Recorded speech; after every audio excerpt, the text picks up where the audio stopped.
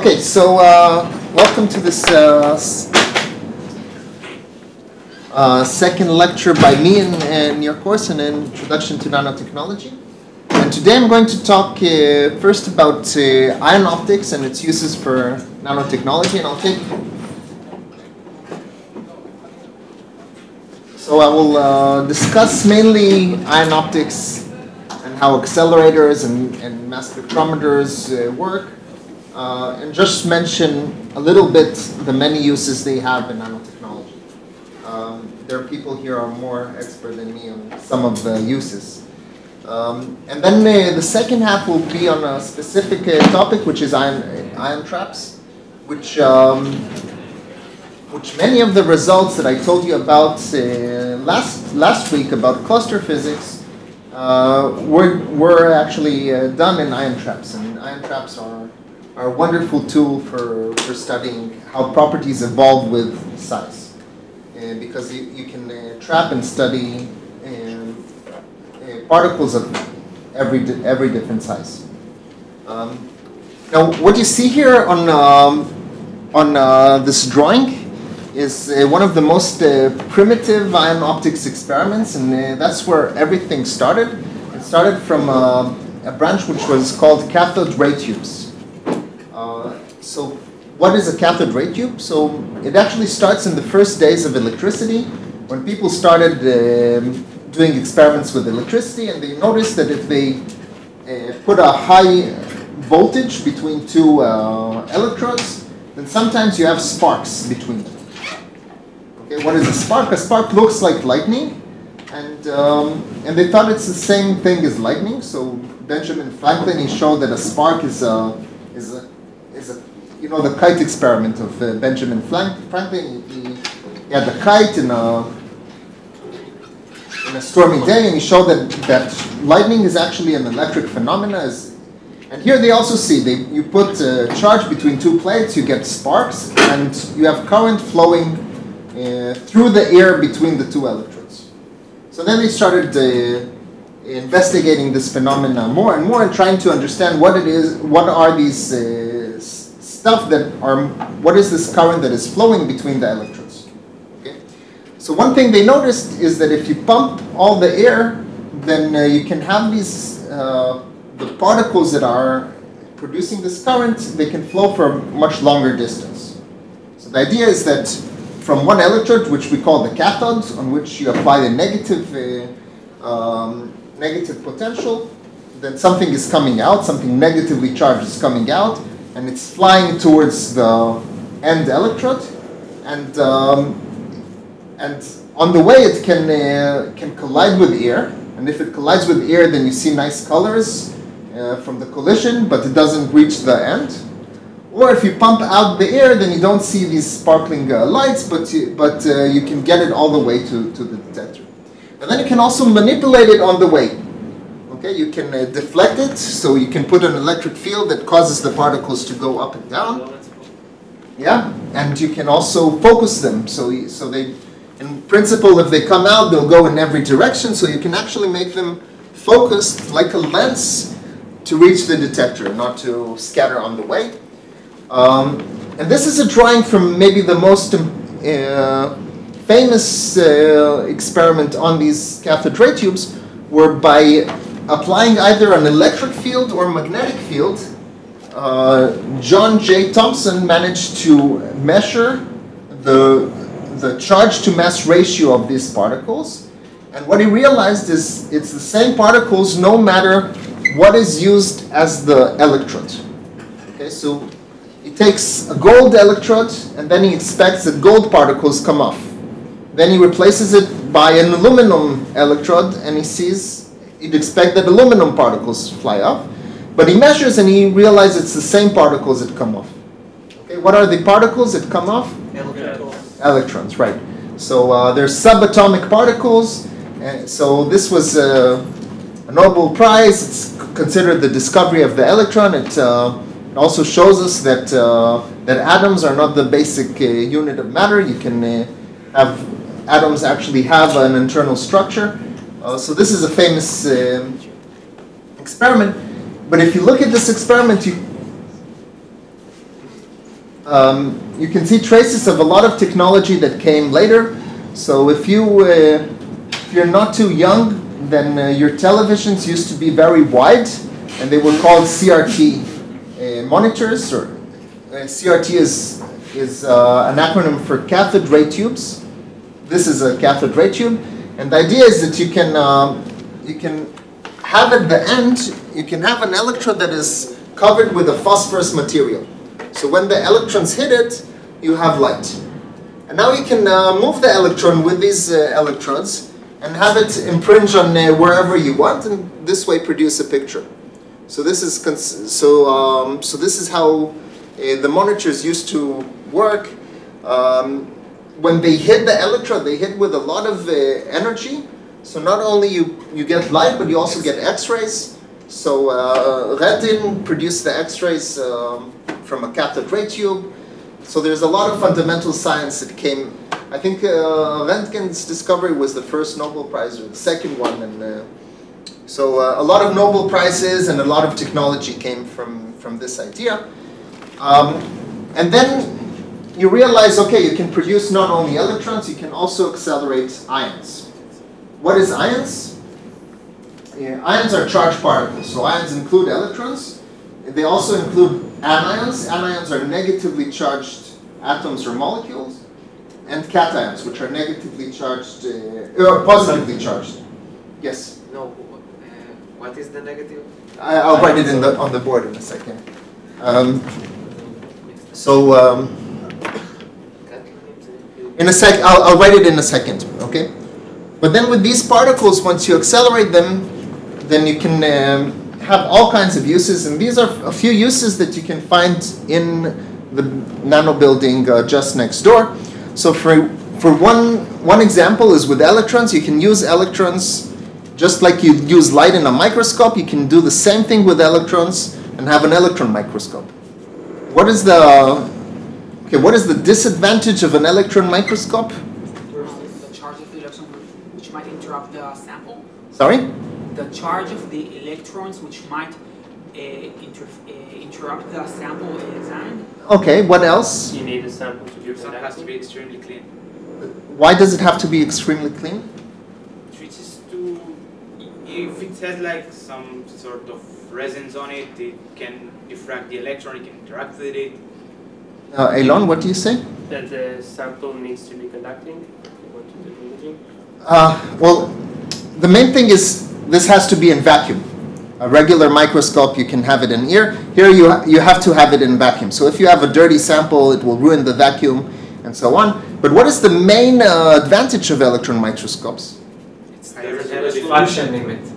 No Diffraction limit. Okay, so light has a size, it's called the wavelength of light, and you can't go much below the, the wavelength of light, so your, your uh, um, the low, the best uh, resolution is around 200 nanometers. Here you can go to picometers. So it's uh, why? Because electrons also have a wavelength. It's the, the wa- wavelength, but it's much smaller. Okay. So um, then another experiment that you can find downstairs here in the nano building is the IBA machine. What you have here is an accelerator, and we'll explain how this this kind of an accelerator works, uh, which accelerates particles to um, to uh, energies of millions of electron volts. So it's like accelerating something with a potential difference of a million volts.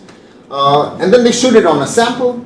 And then, for example, what happens is it excites the atom in the sample, the atoms emit X-ray, and by measuring the X-ray, you know exactly the atomic composition of the sample. And this is one of the many uses you have for Sparks scattering. yeah, and that, and um, and you and there's many uses, many other uses you can have when you have a, m- um, a million uh, volt beam uh, hitting the surface. Um, one of the uses is to uh, treat surfaces. Is that the proton accelerator? Sorry. Is that accelerating protons? Uh, Yeah, I think it's accelerating protons. Protons are cations, Yeah. Are positively charged, but uh, but the accelerator works on anything in principle, whatever ion source you have here. Do you really need a voltage uh, drop of um, 1 million volts? So if you want to have a nice uh, IBA, you want to have a nice Bragg scattering, nice X-ray spectrum, then the higher the um, energy, the better. because then you you interact with the nucleus uh, rather than interacting with with electrons uh, being stuck on the surface and so on. So um, um, and then you can by shooting atoms and ions on surfaces, you can treat the surface in all kinds of ways. Um, and I think Noel is a great specialist on, on this technique. It's called ion sputtering. Um, and I think he can uh, pass you a course on this if you want. And there's many, many other techniques. Focused ion beams is another way. Uh, another th- thing that you don't have here is something called soft landing. So you can make actually very complicated molecules or clusters or biomolecules, and you can uh, and you can cover them with, on the surface. So so in this way, in this uh, in these kinds of experiments, you, you don't want to hit the surface very strongly, but you want to softly uh, have ions hitting the surface. Okay, so um, so a little bit.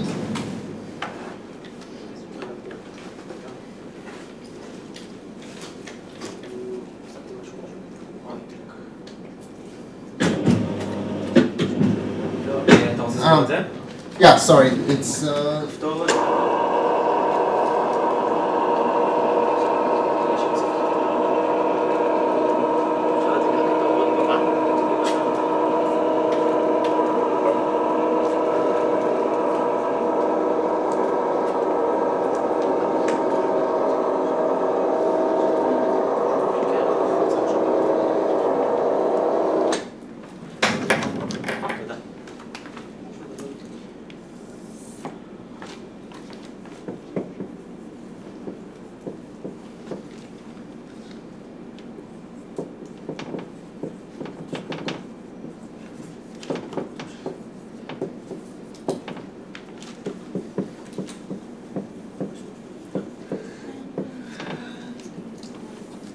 okay, so ion is an electrically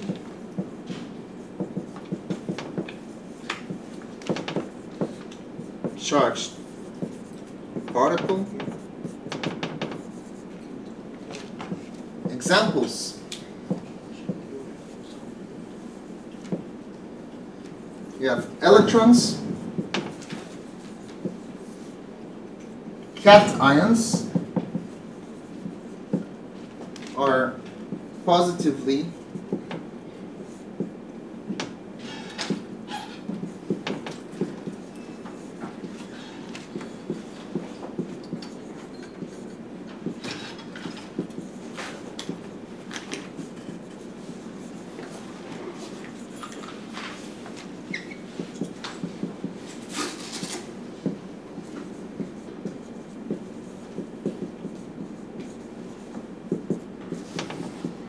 Okay, so if you have an atom that is neutral and you take away an electron, then it becomes a cation, a positively charged. Or if you give it an extra electron, then it becomes an an- anion, a negatively charged. You can have them actually charged multiple times. You can take two, two electrons away and then it's doubly charged. Okay, so um,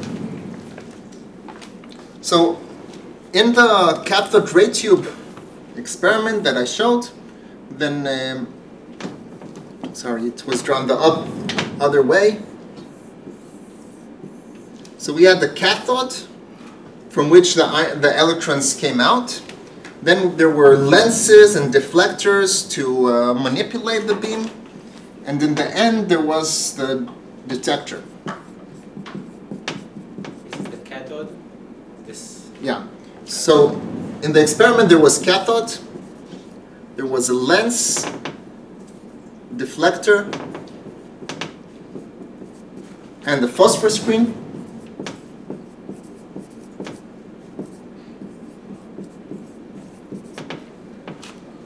And these are, are the general uh, kind of schematics of any kind of technology. So in the beginning, we'll have an ion source. In the middle, we'll have ion optics. And in the end, we'll have um, detector or a sample that we want to shoot at. And we'll talk about each one of these uh, elements. Before that, what is the big advantage to working with ions versus uh, versus neutral particles? well, you can manipulate them with the fields. Exactly.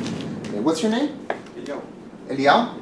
So just as Eliyahu says, the big advantage of working with ions, the reason they're so useful for all these technologies that we've mentioned, is that they're positively charged, which means that you can manipulate them easily with electric and magnetic fields.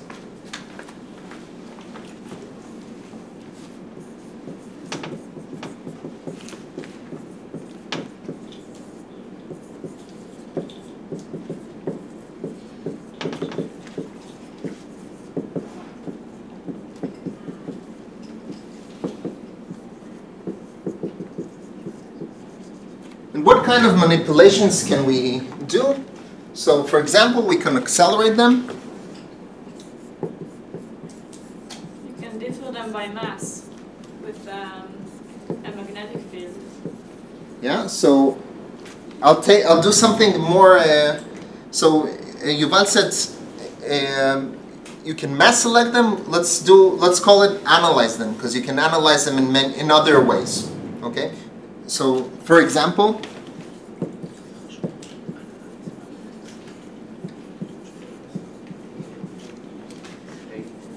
You can uh, focus and deflect. You can do corkscrew uh, motions. Uh, You can do corkscrew motion if you want. You can trap them and um, and manipulate them. Well, so these are all kinds of examples for what you can do with charged particles. All of these things are possible in principle to do also with neutral particles, but it's a lot, a lot harder. Okay? So you can accelerate neutral particles, you can't reach the same acceleration voltages or energies that you do with ions. And you can do it only for very specific uh, molecules. For instance, if a molecule has an electric dipole moment, then with an inhomogeneous electric field, you can you can uh, accelerate it. But it's very hard. It's a very small force, and um, and it only works for molecules with a high dipole moment. It doesn't work for every molecule. Okay, you can uh, select. You can you can do a lot of things also with neutral particles, but uh, it's a lot easier with ions. What is the dis? Sorry. What is the main disadvantage of ions that you have to know before you start doing anything with ions? Um, the voltages uh, corresponding that is, for example, you use kilovolts and megavolts, which is has uh, problems, say, dielectric break breaking. Okay, so so you'll we'll get to breakdown of voltages, but that's not the disadvantage of ions. to interact with each other. Yes, they're, they're free radicals, right? Okay, so ions, um, you say they interact with each other. So they don't only interact with the electric fields we put, they also interact with each other. And what is the force that you have between ions? Let's say you have only electrons. They repel each other. Okay? So Coulomb repul- the Coulomb force between like charges is repulsion. Okay? This means that you can't have too many ions together because they simply repel each other and blow apart. So small Okay. signal. So the main disadvantage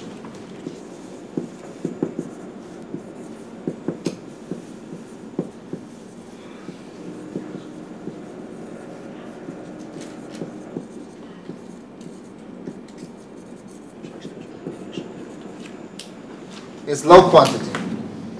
Okay, so uh, but I mean, if, yeah. if the if the the particles can be confined in, let's say, in the tube. Okay, if you put huge magnets around the tube, why can't you confine them? Yeah, you. So the tube will produce. So if you can, con- if you uh, can trap them, for instance, with magnetic fields, so you're produce, producing a potential that looks like this. Okay let's uh,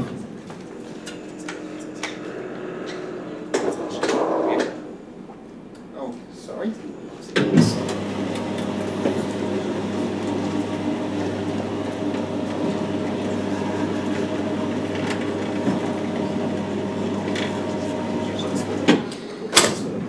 Okay so um, so let's say uh, as the DL says let's say we have an ion trap which means we have a potential well. An ion trap means that we have something that looks like a valley, which means that if you put a particle, then it's pushed towards the center. And let's say you have one particle and it's in the valley and it's trapped. That's great. Okay? But now let's say we, we have many particles. So to a first approximation, you can say let's uh, neglect the force between them. So they'll be just scattered in the swell. But now you can calculate the force between them, and this will create for you a repulsive potential. And the repulsive potential will look like this. So if you have a small number of particles, then uh, it will, then if you add these two potentials together, you will still have something that looks like this, which is still confined. But if you have a lot of particles, then it will become. Okay? So you're limited by the number of particles you can have. So if you have huge electric fields, maybe you can confine huge number of particles, but it's still it's like million, millions of particles, millions of ions in the best case, which is million is 10 to the 6. Neutrals you can have an Avogadro number, 10 to the 27. Okay? So, uh, for example, if you manage to trap with optical traps neutrals, and then you start with 10 to the 27 particles instead of a million, then you can do things like evaporative cooling, where you let a few uh, a few atoms evaporate, and then you can go down to ridiculously low temperatures.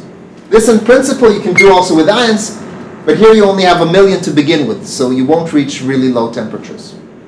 Okay, so you all, always have to know that uh, we can all do all these crazy things with ions, but but we're always limited by the numbers. Okay, so um, so let's begin to talk about this uh, middle thing that's called ion optics. And it turns out, so if you look at uh, electron microscope, then uh, it actually is built very similar to how a regular microscope works. So it, it a regular microscope has lenses, it has mirrors, and so on. All of these um, components you can also have for ions. Okay? For instance, what is a mirror?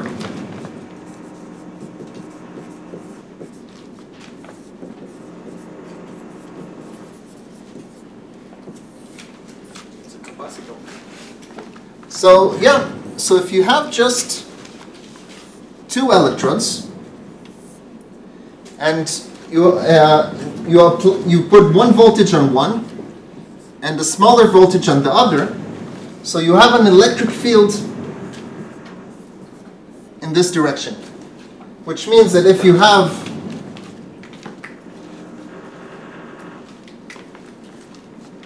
an ion coming from here that is positively charged, then the electric field will bend it and it will come in the opposite direction. Okay? So this is uh, an electrostatic mirror. Okay? Similarly, you can also have a lens for ions. Okay?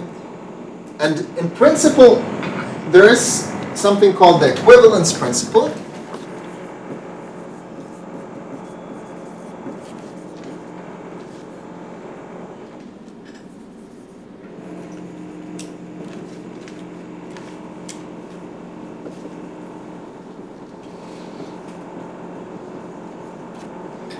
The equivalence principle says that anything you can do with light using regular optics, you can also do with ions using ion optics. Okay? Where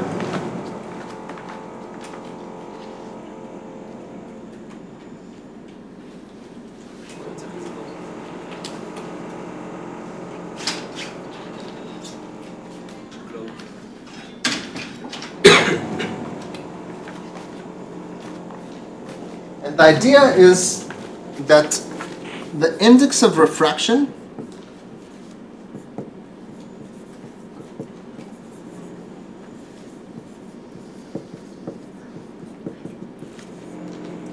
is replaced by 1 over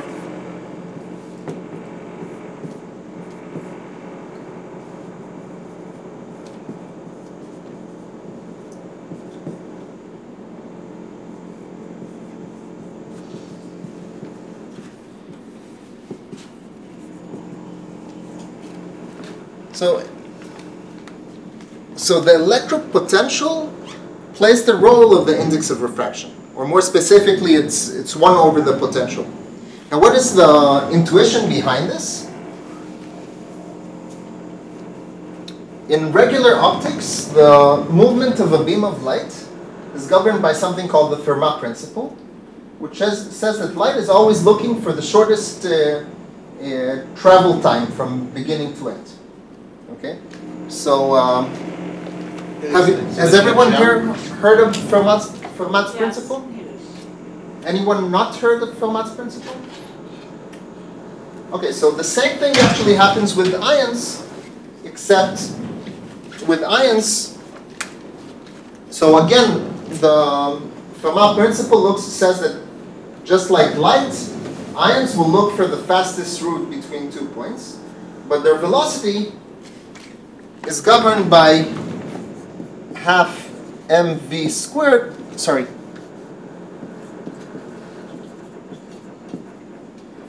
So their kinetic energy will be equal to their potential energy. It's the same principle. In most cases, it's Lagrangian. It's not. Uh, Sorry?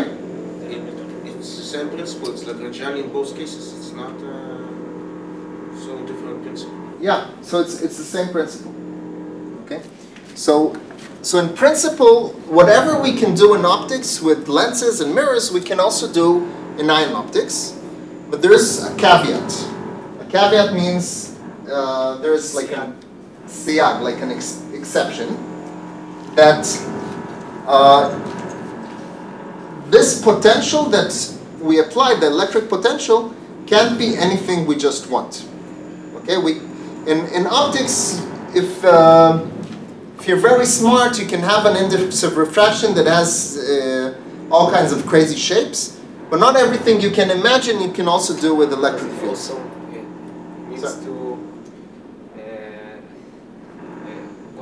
Maxwell, Maxwell equation. Yep. Okay.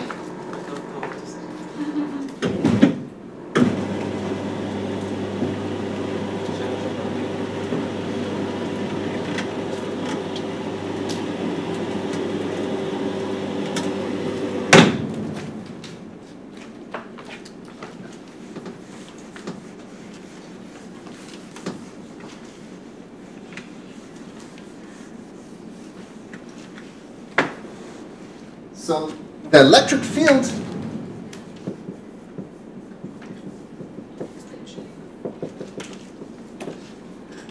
has to. Sorry, uh, can you tell me your? Yeah? Fine. Chaim. So, like Chaim says, the electric field has to obey Maxwell's equations.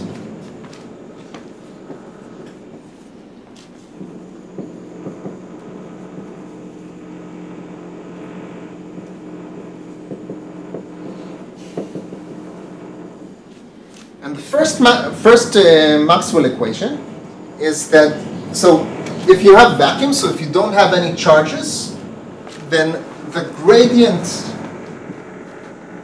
of the electric field is zero in the absence of charges.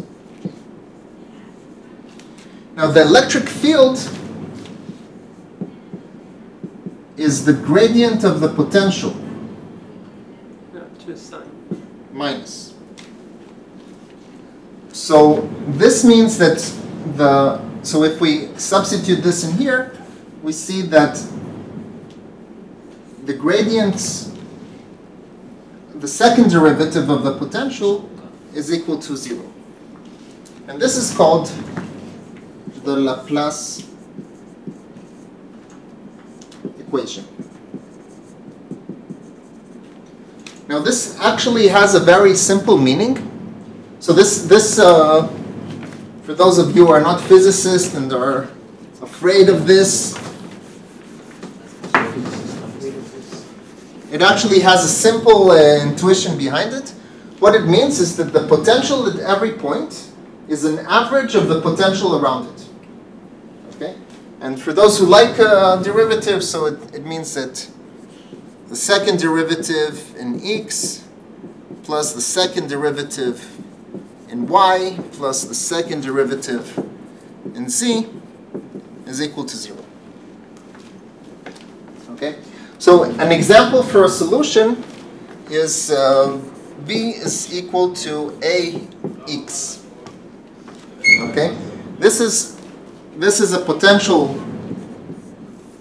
that goes like this and that means you have a constant electric field in the x direction and if you plug it in then this the derivative with respect with y is 0 with respect to z is 0 but with respect to x it's not 0 No, but this the Second derivative is zero. uh, sorry the first derivative is a and the second derivative is 0 okay so it obeys the La- Laplace, Laplace equation and this is actually what we needed in order to make a mirror for ions. Okay this is also what we need if we want to accelerate ions okay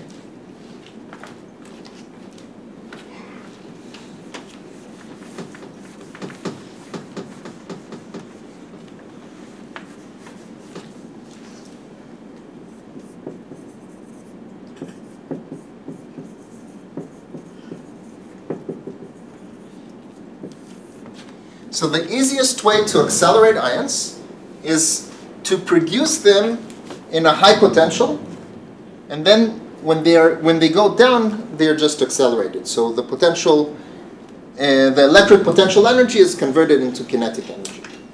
Okay, so. Um,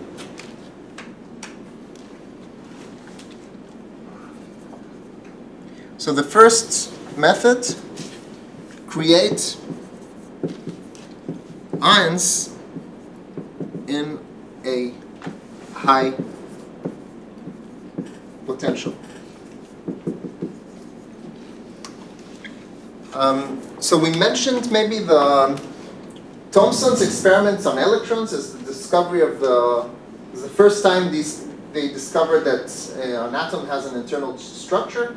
The first pe- person who managed to uh, split the nucleus of an atom artificially.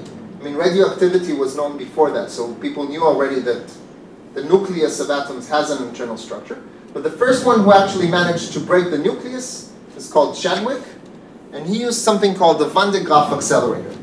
So a Van de Graaff accelerator is, well, you have um, a Van de Graaff set over here in the physics demonstration where you, uh, you use a belt to charge up a sphere, um, and this way you can create voltages of around a million volts. So, um, so, we, so that's what he did. He created a voltage of a million volts, created ions there, accelerate, accelerated them down to ground, and hit and had them imprint on the nucleus. Okay, so this is um, so this is the the first way to accelerate ions. As people mentioned, um, the the problem always here is not to produce an, el- uh, a potential, not to, but it's to keep it because if you produce a high potential, that means you have a lot of charge, and this charge doesn't want to stay there. It wants to break down. Okay? So the problem when you produce a lot of charge is that you have breakdowns. Okay? So um, this is the reason why accelerators tend to be very big. So um,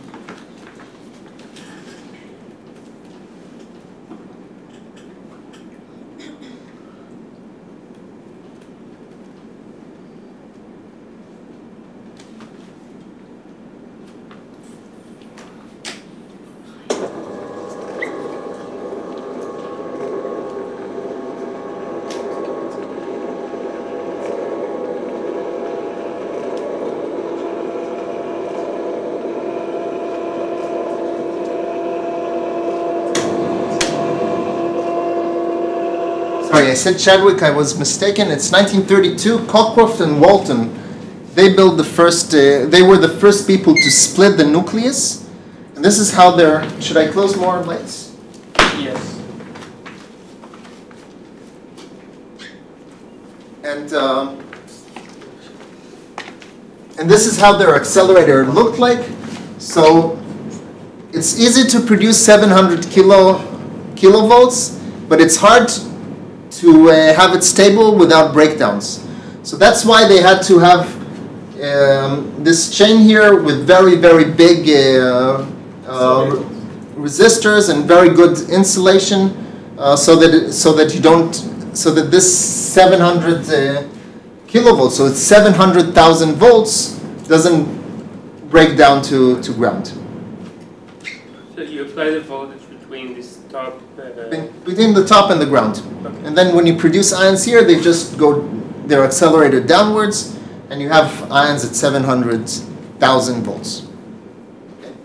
wouldn't the air just uh, break down? Yeah. So, um, so that's why you need this big distance. Okay? And it's governed by something called the Paschen curve.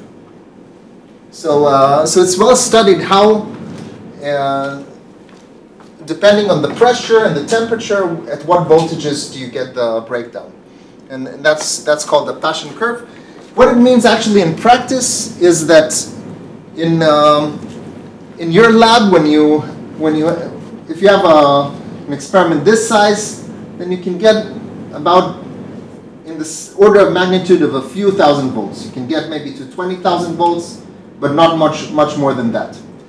And if you can afford to build something really big like this, then you can get to a few million volts, but not much more than that. Okay? And that set the limit for a long time on experiments in nuclear physics and so on of a, a few million volts. Okay, so in um, in the IBA machine here in the Nano, you can get actually with a much smaller, with applying much smaller voltage, you can get actually to much higher energy of ions, and this is called the tandem approach. So the tandem approach is you actually have your ion source in ground.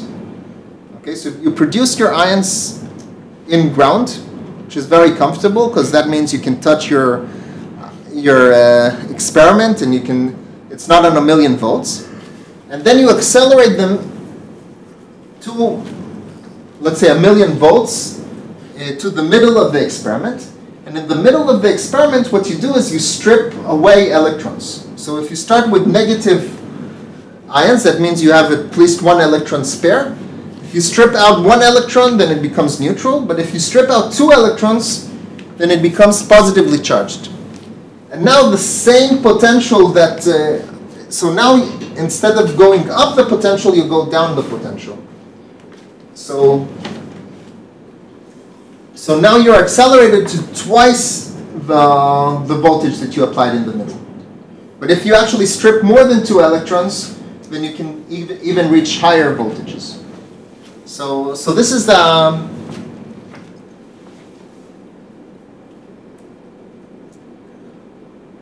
oh, sorry. So this is uh, how the IBA uh, works. So you have your ion source over here. So for example, you produce protons, and this actually um, you want to have them in this direction. So you accelerate them in the beginning to a few thousand volts. Uh, but then here in the middle, you have about a million volts. And there's also this um, a mesh. So a mesh is a, a very thin foil with holes. And when the ions pass through the hole, then the electrons suddenly see that around them there is uh, an electric uh, grid, so they can just jump to the grid. But uh, the atoms, the nuclei, they're strong. They are heavy, so they can't just uh, pass to the grid, so they pass through. And then what happens is that the electrons are stripped away. And then they're, um, and then in the second half of the experiment, they're accelerated a second time, and then you can uh, use them. Sorry, uh, I didn't understand like what was the benefit of uh, doing this peeling off of the. Yeah, so you can get much higher. So for the same voltage you apply in the middle, you get at least twice the, the acceleration voltage. So if you put a million volts and you strip two electrons, then the ions are accelerated not to a million electron volt, they're accelerated to two million electron volts. But if you strip away uh, four electrons, they're accelerated to one plus three to four million volts. But, but why would the, the, the, the electron would like to, to peel off? Ah, okay, so, so what happens, so the way it's done here is you have a grid, okay? And when you pass through the grid, then the grid is, an, is like, is wires, right? So the electron sees a conductor around it, and it can just jump to the conductor. It not necessarily always happens, but when it happens, but it can happen. But uh, the atoms are uh, heavier, so, so they can't just jump, so they, they have a big momentum, so they can, so they pass onwards. That's the intuition. To go to the details, it's a little more complicated, and that's actually, uh, uh, it turns out that this kind of this, oops, this kind of stripping only works when you accelerate your ions to, to around a million volts. So um, in, in lower energies, it's less effective.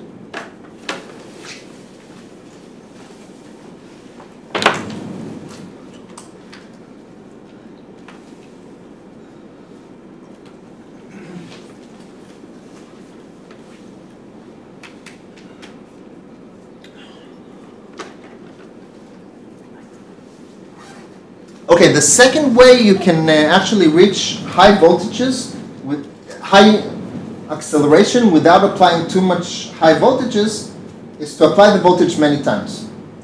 Uh, and this is called, so this is post voltage acceleration. So let's say you have an ion, and when it passes through, uh, through uh, a region in your experiment, you suddenly in- increase, the, increase the voltage. So, uh, so now it's on, on this high platform, and now it, when it uh, goes down, it accelerates. Okay, so uh, so this way you can accelerate. Now it turns out that jumping a voltage is much harder than just putting a voltage. So you can't, uh, when you jump a voltage, you can't reach the high voltages you would reach when you just put a constant voltage. But you can do this jumping many, many times. So, um, okay, so, so, um, so one example for, for many uses of this is you have uh, grids, you produce your uh, a sample over here, you jump the voltages and the ions are accelerated to this direction. This is called Wiley-McLaren accelerators.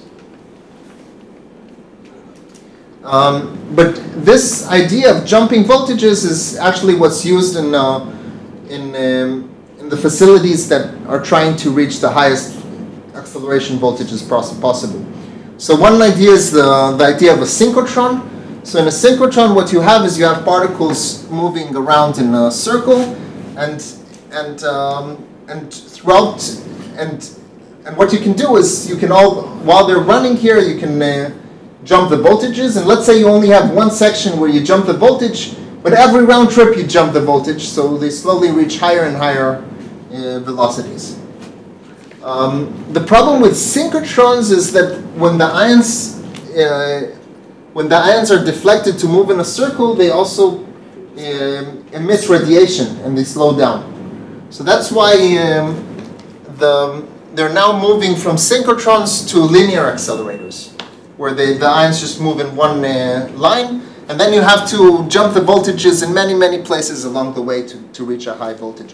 And that's why you need a very long tube for that. So, um, so this is uh, the Large Hadron Collider in CERN, if people don't, uh, and this is the Stanford uh, Linear Accelerator. So we talked a little about. Uh, so we saw that a constant electric field is a solution to the Laplace equation, and it has many uses. For example, it, you can use it to accelerate particles, and um, and you can also use it for, as a mirror. Okay. How about a lens? Okay. So what is a lens? So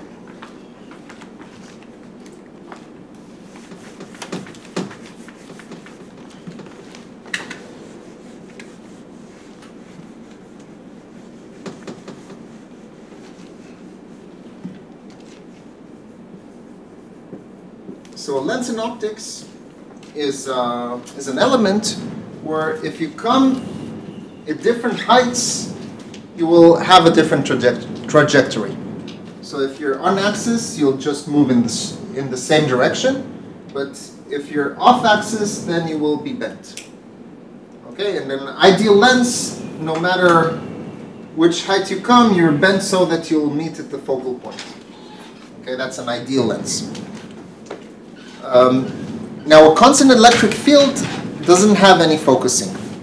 Okay, so if you have a constant electric field, if you have like a capacitor and you have an electric field in this direction, then if you come, let's say this is your optical axis, if you come along the optical axis, you'll come back the same way.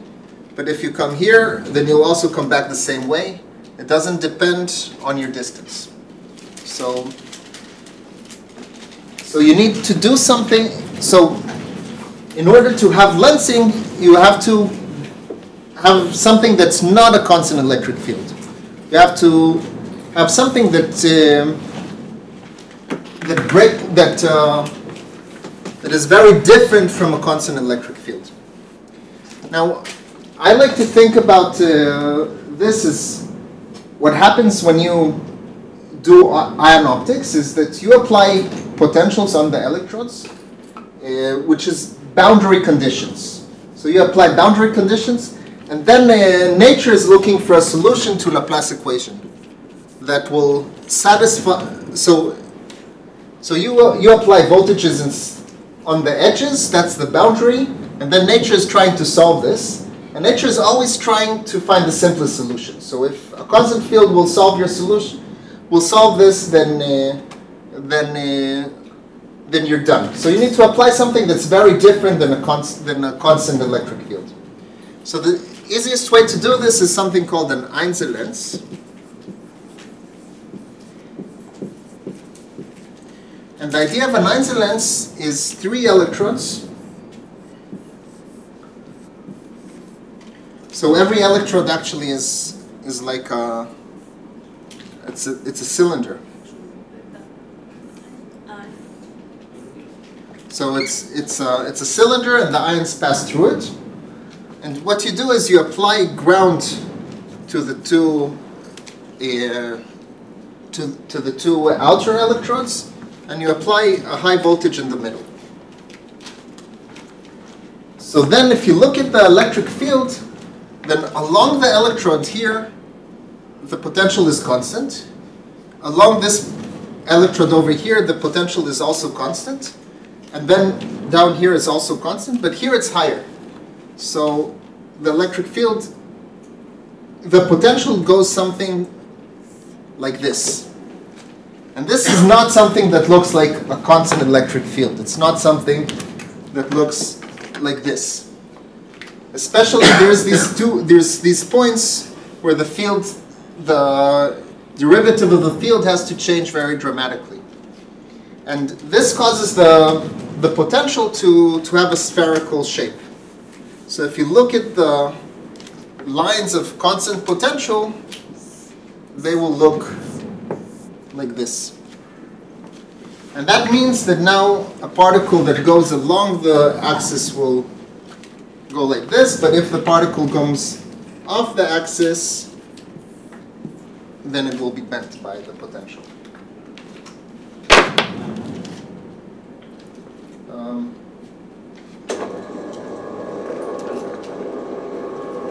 yeah. One example. One use of examples of lenses. So, for example, an electron microscope. Oh, You have to uh, you have to have lenses for magnification, right? You use yeah. So um,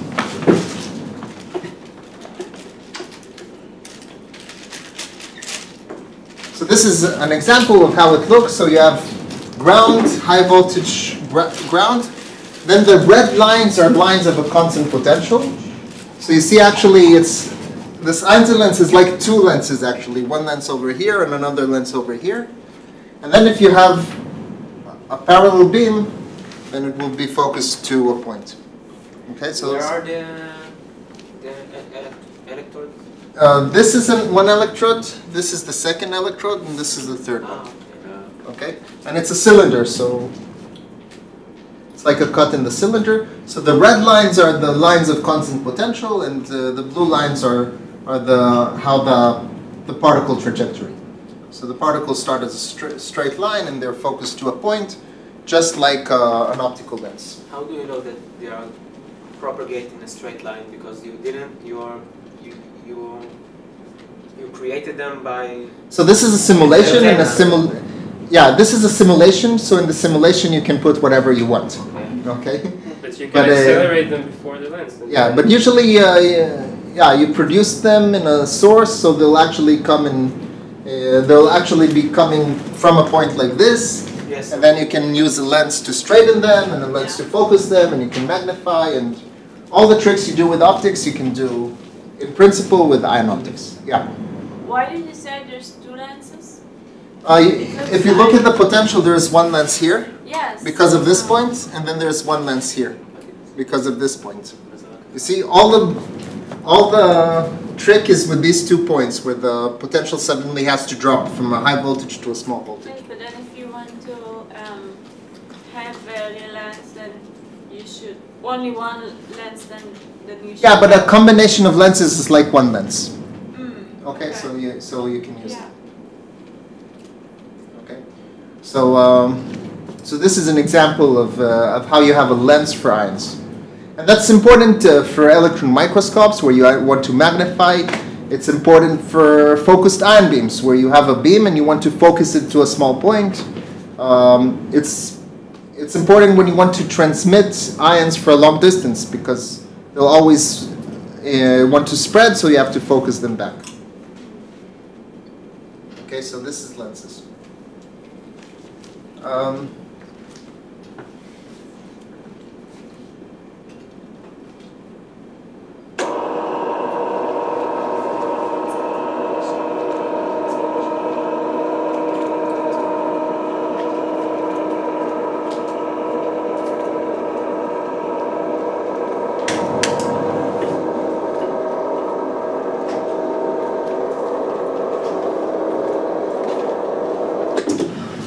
Now, if you have um, now, there's many advantages to work not with electric fields but with magnetic fields.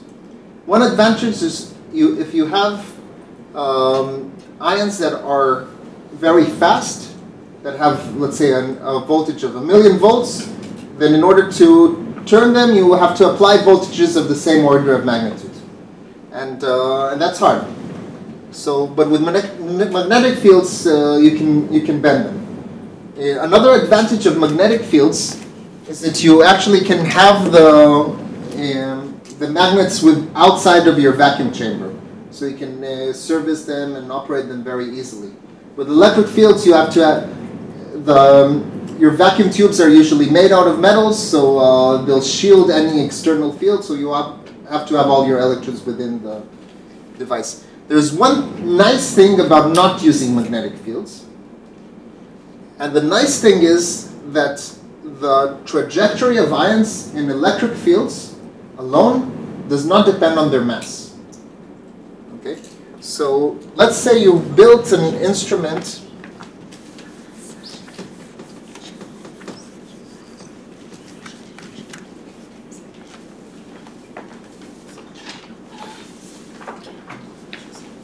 let's say you built an instrument called the time of flight. This is time of flight mass spectrometer.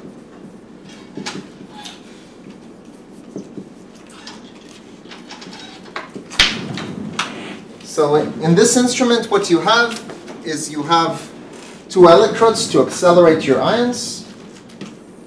Then you have a mirror.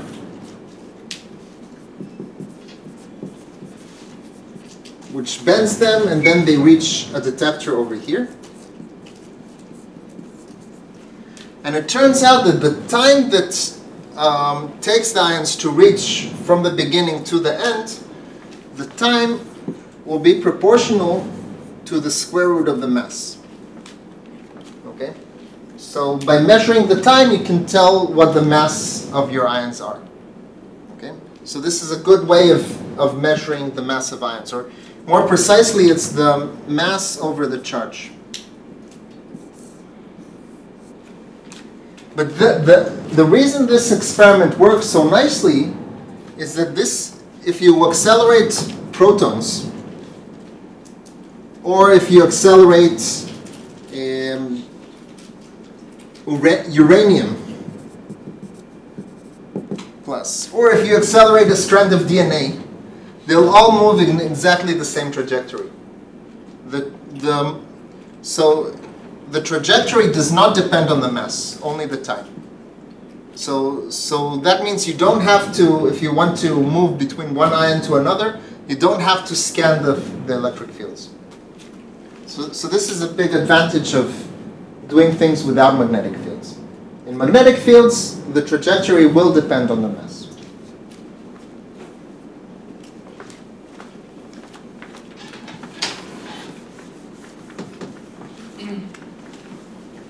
I'll say a little bit about magnetic fields.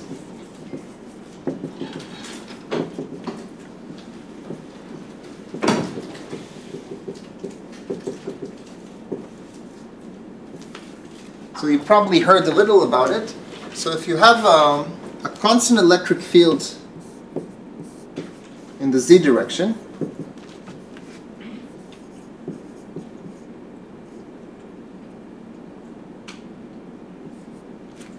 then what does that do to ions?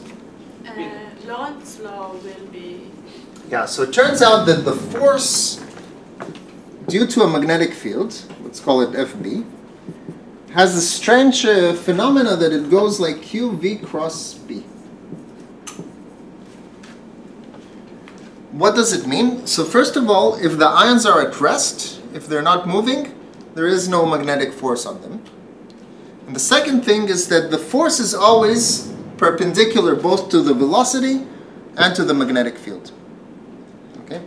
So let's say you have a magnetic field in the z direction.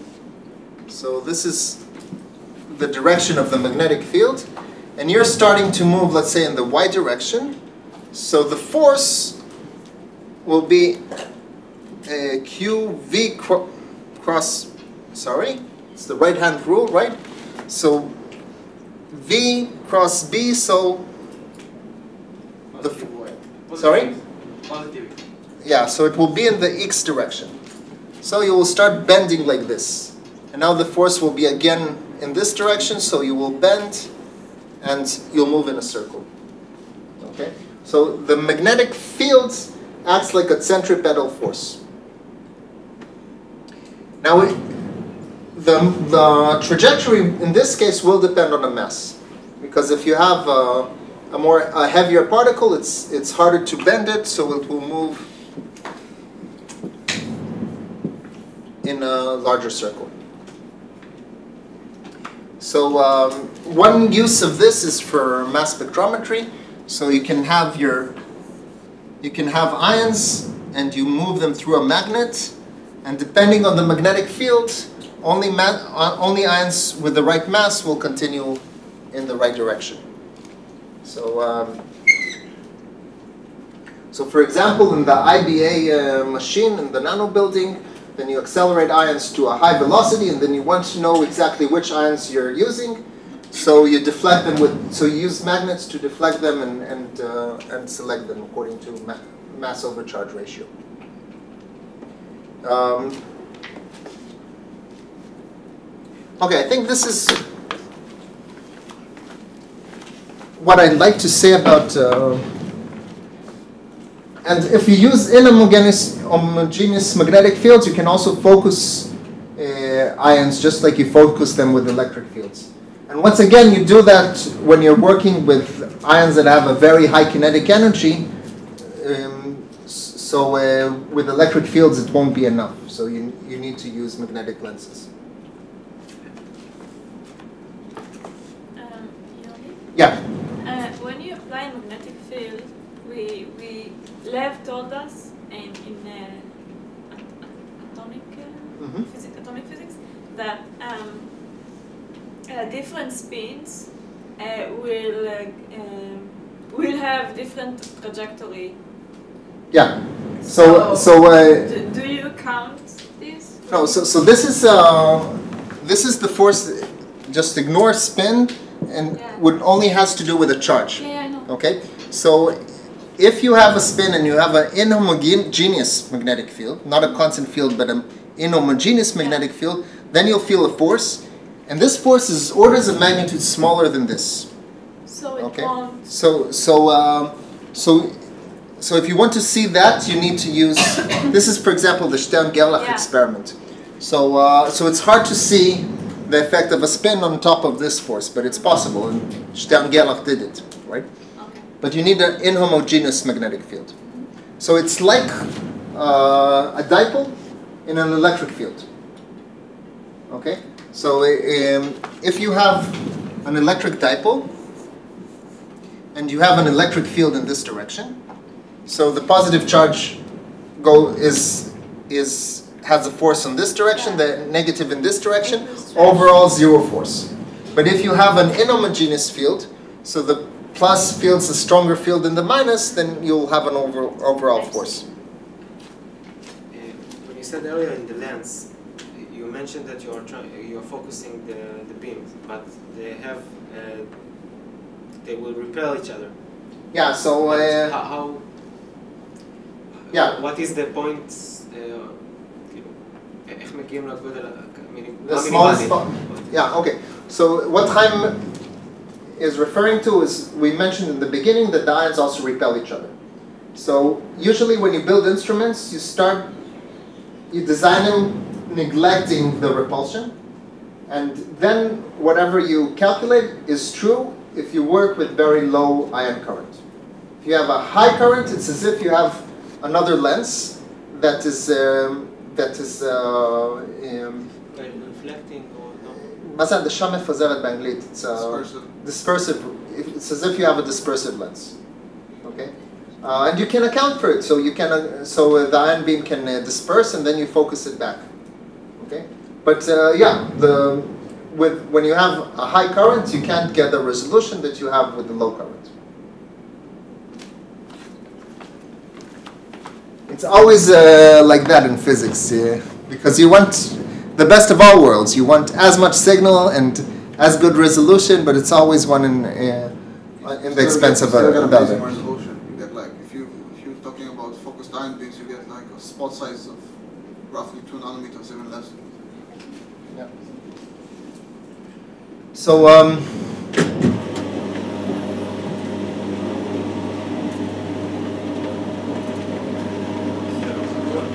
What is a typical magnetic field that you need to apply to get, uh, I mean, for a, a Yeah, so- so- spectrometer or something? yeah, so they're using uh, fields in the order of magnitude of one Tesla. Okay, um, but I mean usually it's 0.1 Tesla or 0.5 Tesla or something like that. But it all, all depends on the energy of the ions.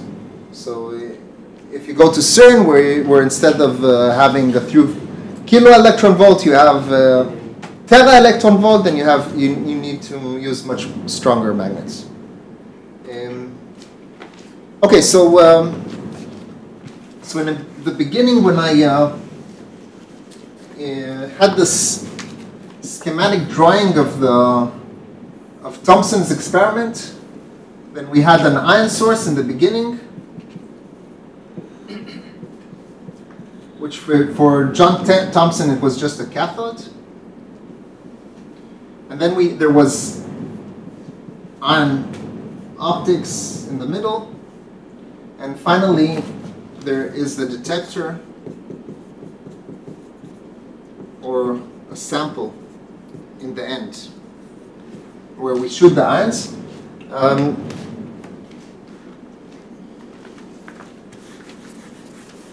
so I'll say a, few words about the detector. So the one thing that is nice with ions is that once you accelerate them, if you accelerate something to a high voltage, you, if something has a high kinetic energy, then it's very easy to detect it. Okay? So for example, you have a detector called a channeltron.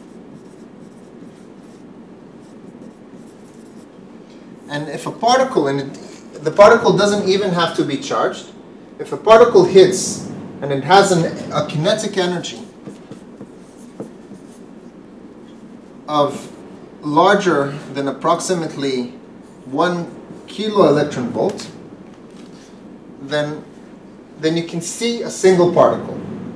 Okay, how does it work? So in a channeltron, a channeltron looks like a tube, like this, and within this tube there is an electric field, a, a strong electric field that goes in this direction. So what? Actually, it's in the opposite direction. So you'll see in a second. So what happens is, so what in the channeltron you have um, negative potential here and zero potential over here. Or let's say zero and, and a positive potential over here. So what happens is when you when a particle hits the, the channeltron, then as a result of the collision, then a few electrons will come out. And now the electrons are accelerated by this electric field, so they hit the, the tube again, and now they emit even more electrons. And, and so on. They, they keep getting accelerated, and each time you multiply the number of electrons. So in the end, you have, um, so this, it's a kind of an avalanche, and then you have a lot of electrons, and then you get a strong signal that you can measure. They don't interact with this, each other? The electrons they do, but doesn't matter. You They don't care about you don't care about it. You have so many. So there's so many. It's an avalanche. So you're sensitive and you can see a single particle. Okay. I have a Um, question. yeah. Is it sensitive enough to distinguish between, uh, let's say, one particle and two particles? If it was Yeah. So if the two particles have uh, some time between them, then and this time the time it takes to read out a single particle is less than a nanosecond. Okay, so up to a nanosecond you can distinguish between two, two Yeah. hits? Exactly. Um, one thing you, this is an avalanche, so the height of the signal in the end will be random. So you can't tell much about the particle except that it, a particle hit. Um, then you can have, Isn't any... yeah. So in uh, in principle, if in principle, if the first particle has a higher energy, then it will produce more electrons in the beginning, so you'll have a higher signal. But, uh, but it's so random that it's very hard to see these differences. So you can't uh, measure the mass of a particle by just the height of the signal. But you see that a particle is hit. You can take this channeltron idea and you can make many, many, many ch- channeltrons, and then you get a detector called an MCP. It's called a microchannel plate. Microchannel plate. And uh, so that's, you can think about it as two plates that have a high voltage between them. So let's say zero volts here and two kilovolts here. And you have a lot of these uh, channels. So a particle hits, it produces electrons, and the electrons undergo this avalanche, and then you can measure the current here, and you'll see a strong current for every particle. You can also put a phosphor screen behind here.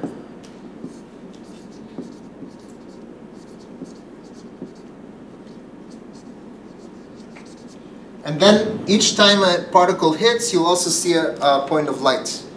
And then you can also say where the particles hit on the detector. So you can get both the time and the position of each hit on the detector. Uh, so for those of you who uh, do, uh, do my physical chemistry uh, course, so this is how you do all these imaging experiments that I told you a little about. Um, yeah, and, and then you can have even a more sophisticated detectors. So this detector works from one kilo electron volt, but uh, let's say you have uh, a diode, um, and let's say, so an electric diode,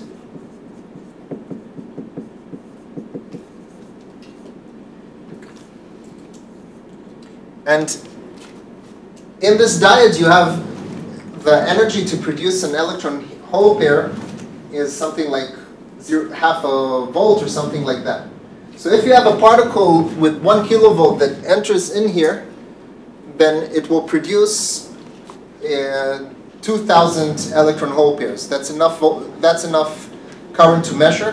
And then you can. And if the particle hits with two kilovolts, then it produces twice as many electron hole pairs. So in principle, you can measure the kinetic energy of the particle that hits. Al- Also, you can put a- lot of uh, those detectors uh, one uh, one next to the other, and when you, when you uh, the particle will move, it will move through it, but it will it will pass it. So Yeah. okay I'll, I'll, measure I'll, them. yeah you're talking about more sophisticated detectors in CERN.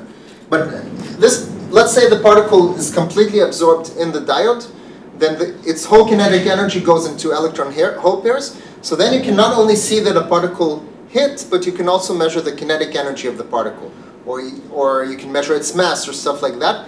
The problem is that um, a particle of a kilovolt energy will not go into the diode because it will it will be stuck on the surface. But it, but this works very well if you have particles with millions of volts of energy. So with millions of volts of energy, you can actually measure the energy of each particle. If, like you say, you have uh, particles with uh, giga electron volts, then they will pass through the detector, create here an avalanche, so you can measure that they arrived here. But then behind it, you can have another detector, and then you can really trace the, the line Trajectory. the trajectory, and that's what they're doing in in the big accelerators, like uh, like the Large Hadron Collider and CERN. Um, okay, so this is just a small primer about detectors. I won't go into more details about them, and then so we talked about the ion optics. We talked about the detectors. Then we can have a whole course about the ion sources, because. Uh, um, because there's many different ion sources and you but we won't have a whole course i'll just give you a few examples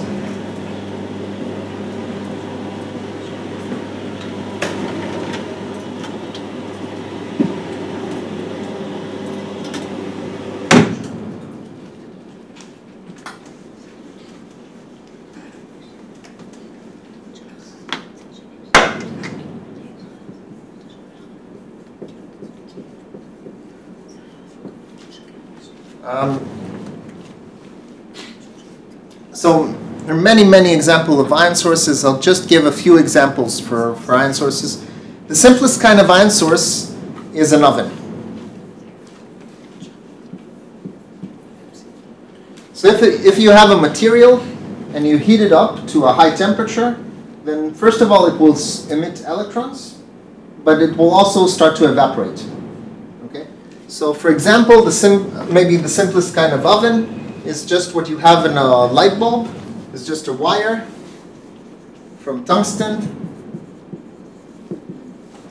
And if you pass current through the wire, then it heats up and, um, and then it emits electrons. But it also starts evaporating. So you can put, uh, for instance, gold on this wire and it will start emitting uh, gold particles. Or you can uh, you can have a little ceramic and put your a powder inside, and you can put a wire around it. So you heat up this oven, and uh, and it will start particles will start coming out. Okay, but if we come back to the simple uh, way of making electrons, once you have electrons, then you can use them to make other kinds of particles. So, for example, you can have a gas and if you shoot electrons at this gas, then electrons can uh, ionize, so they can knock off electrons from the particles in the gas, or they can attach and form negative particles. So once you have electrons, you can uh, start making ions as much as you want. Or if you have simple, uh, for instance, if you heat up sodium, you can use it to sputter, so you can uh, fire so for example, in archaeology, what do you do in archaeology? So in archaeology, you want to uh, do carbon dating. So you want to see what the age of a material is by the amount of carbon 14. So you dig up a site, you have, uh, you look for something organic, something uh, that has carbon inside. Uh, you take it to the lab, you put your sample over here, then you shoot, um, usually it's cesium ions at the sample, and this will cause carbon minus to come off in the other direction. Um, and carbon has uh, three, three main isotopes. It has carbon 12, carbon 13, and carbon 14 minus. And by the ratio of carbon 14 to carbon 12, you can tell the age of a sample. The problem is that carbon 14 is in a very, very tiny amount. So, so you, so to be sensitive to that, you need to accelerate to a million volts. You need a magnet, and so it's. Uh, so um, in the Weizmann Institute, for example, there's a, an accelerator that looks it is similar to the IBA machine here in uh, Bar Ilan, but a little smaller, and it's used for archaeology. Yeah.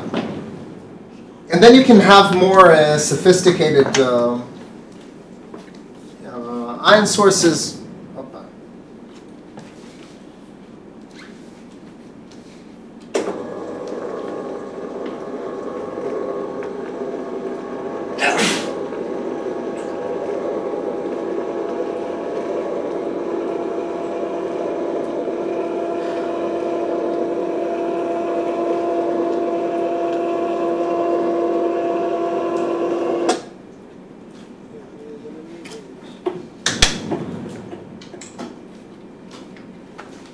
Um, so if you want huge currents, then what you want to produce is a plasma.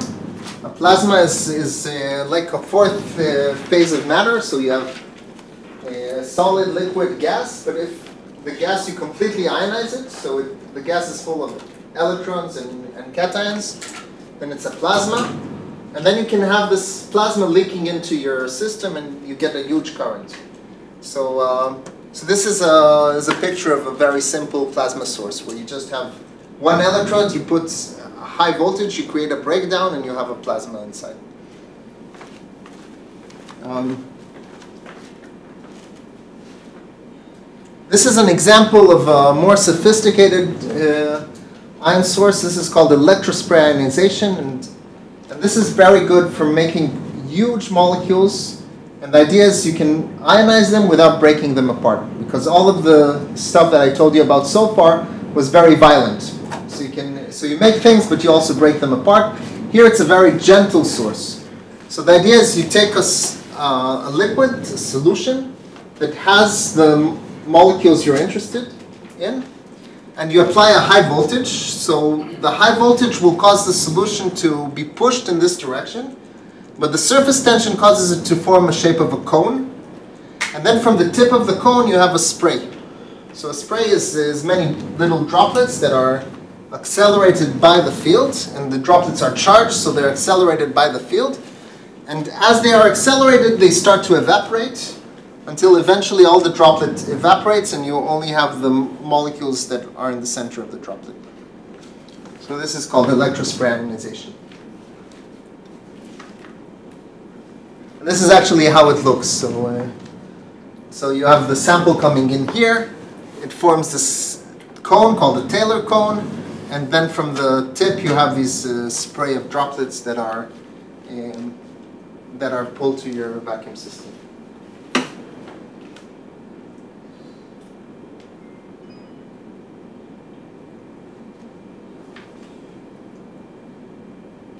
Okay, so. Um, so I think this brings us to the next topic, which is, uh, unless you have more questions.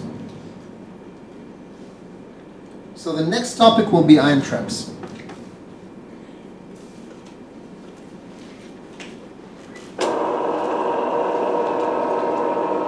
Now, is it okay actually that we continue without a break? Uh,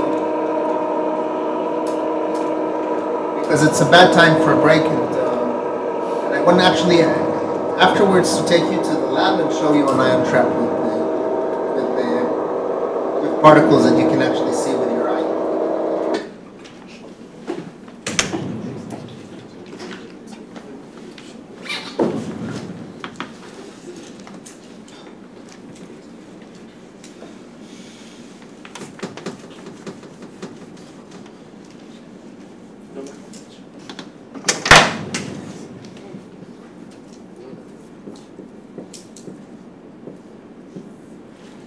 Okay, so ion traps are traps for ions, so you can hold ions and keep them. And why would you want to do that? So do you have any ideas for why should you use traps? What's uh, what's good about traps? Maybe for reactions. For reactions?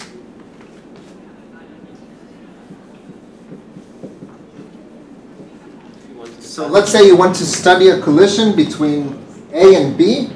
So it's good maybe to have B standing in place and then shooting A at it. Okay? What, what else? Other ideas? To isolate things. Yeah, two. So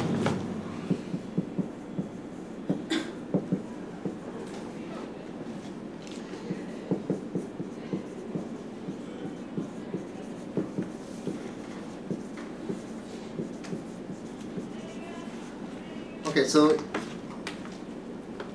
so once particles are inside an ion trap, then you can manipulate them and you can uh, isolate them from the surrounding. You can uh, set their internal temperature. You can mass select them. You can do all kinds of tricks on them when they're inside an ion trap. Uh, any other ideas why ion traps are good? If you want to examine them, Yeah, why, why is it good to trap them if you want to examine them? because you have them on one place. Yeah, and what? Okay, and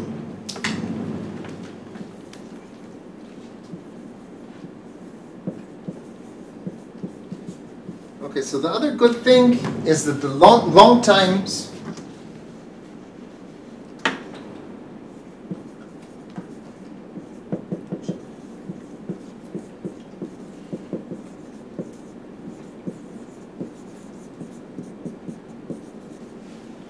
So, I guess you all know the um, um, the Heisenberg's uncertainty principle that says that delta p times delta x is h bar, but there's also a second second Heisenberg uncertainty, yeah, that says that delta e times delta t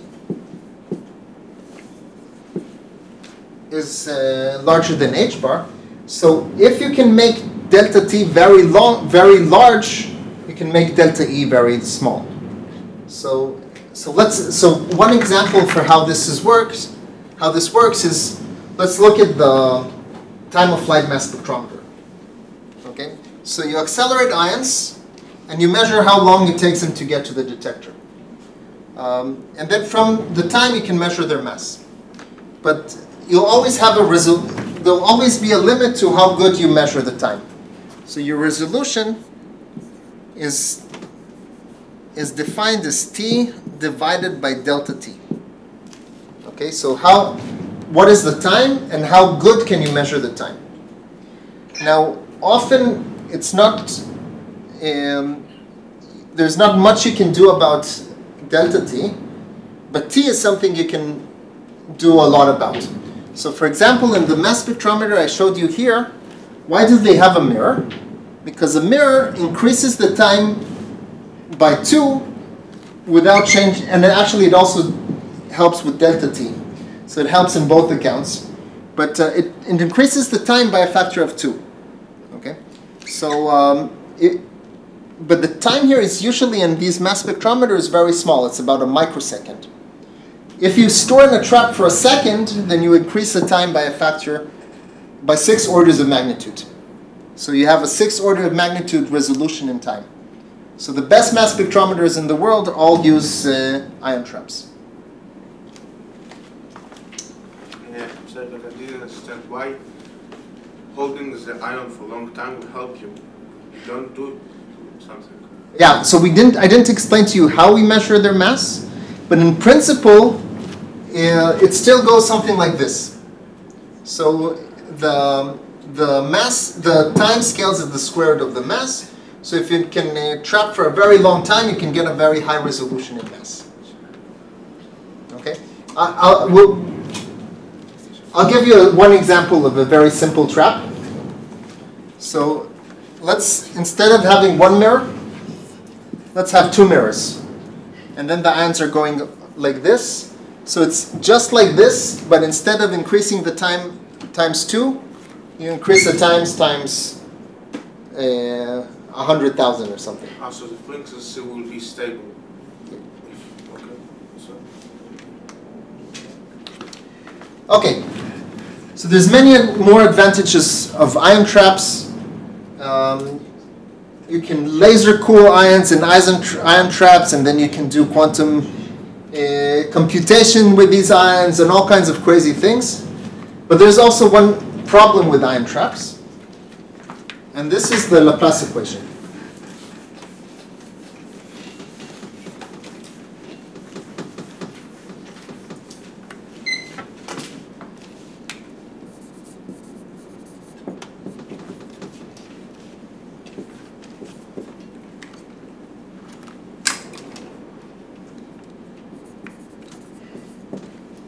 So, before we talk about the problem, let's say a little bit of a word about what is a trap. And actually, we mentioned it a little bit in the first hour, but a trap is a potential well.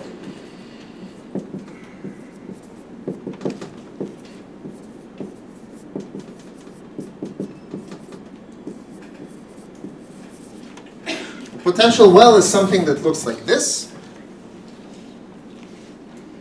Um, which and the force if you remember is the so this is how the potential looks.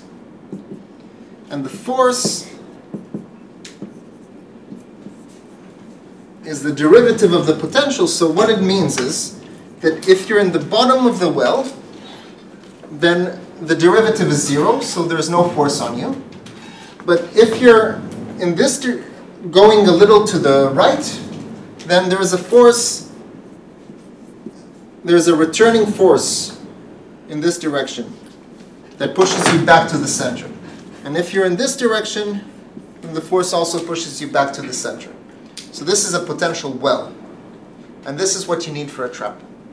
Except this is a potential well in one dimension, and um, we're living in a three-dimensional world. So um, so if we want particles to be trapped, we need to, to have a three-dimensional potential well. Okay?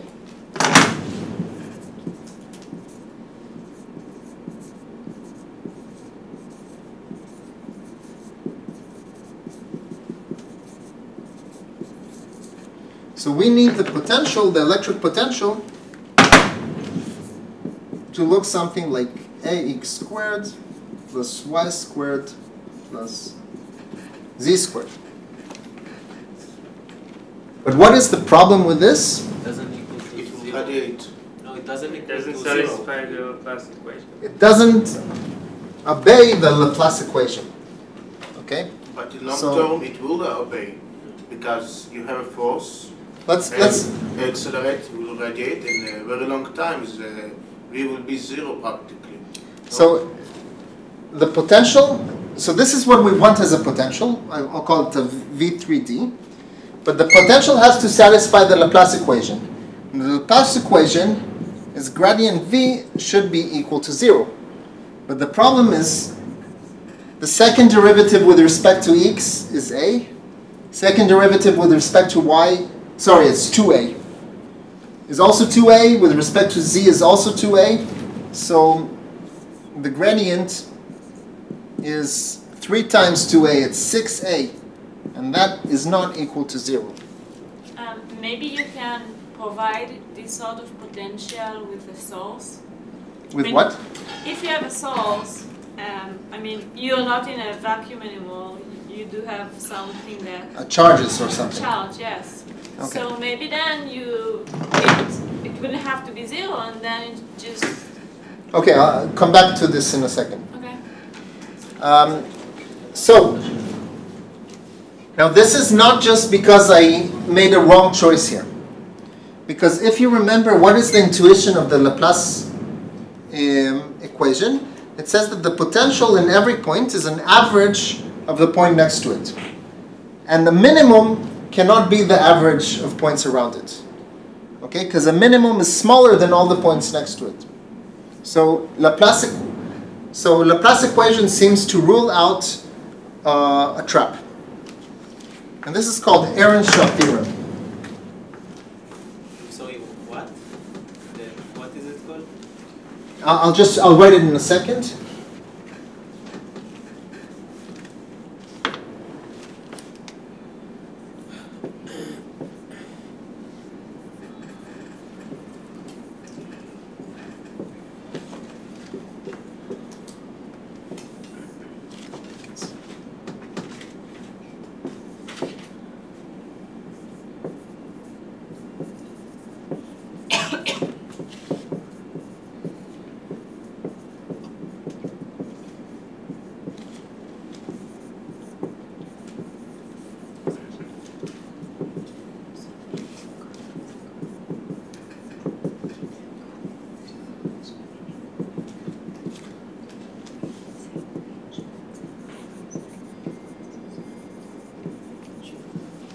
Okay, so Earnshaw theorem says that you cannot trap particles at rest using static electric fields alone. So how come I've been talking about ion traps and mentioning that this whole course is on ion traps if you have Earnshaw theorem that says that you cannot have ion traps? You can put it in a place where you move in circles, so it's be good enough. Okay, so um, that's one idea. So, so what physicists start doing in order to make ion traps is treating this uh, theorem by Earnshaw uh, the same way as lawyers treat an agreement. Okay, when lawyers read an agreement, they immediately look for loopholes. So the question is, can we find loopholes in this um, this statement? And what's your name? Ilan. Ilan. So Ilan is uh, noticed one loophole, and this is the word at rest.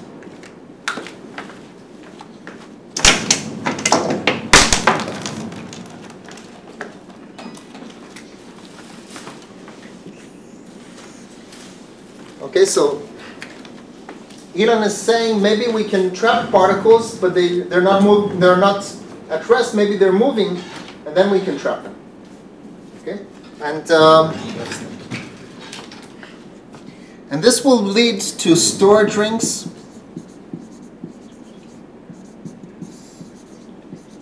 And ion beam traps. Okay, can anyone else find loopholes? Yeah. The static, you, you can change the electric field to move. Also, electric alone. You can use magnetic field.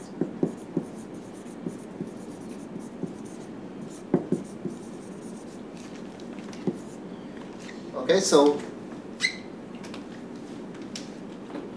and also you have this who said alone? Eliyahu, so so you can have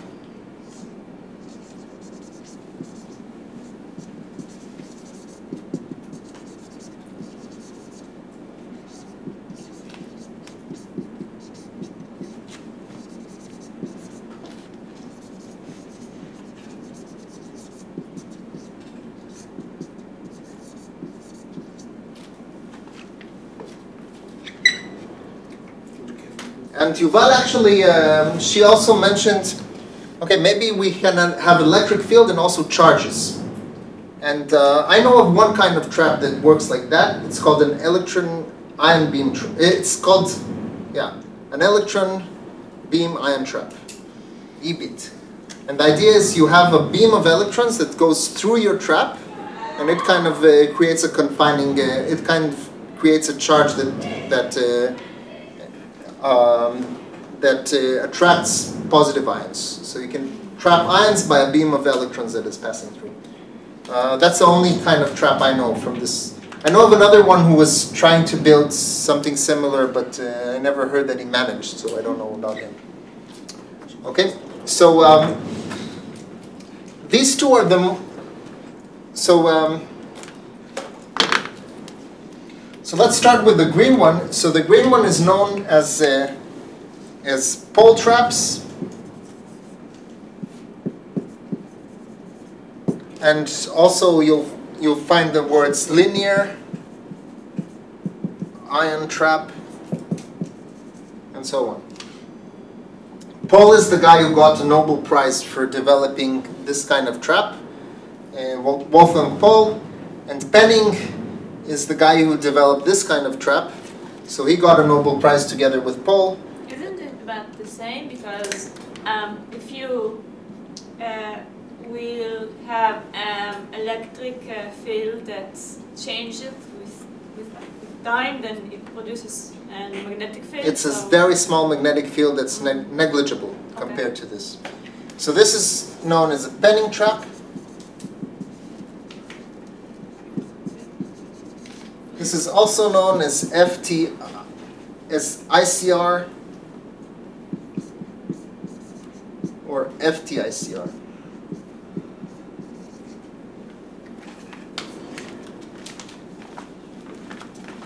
So, um, so I'll give you a brief introduction to each one of these traps. And then we'll go and see one. Is it okay to continue or you guys need a break?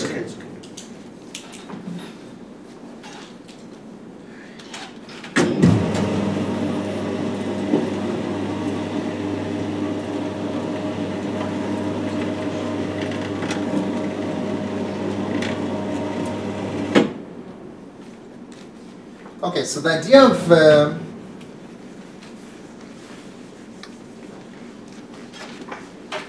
penning traps is the following idea. So you use an electric field that is a trap in the z direction. So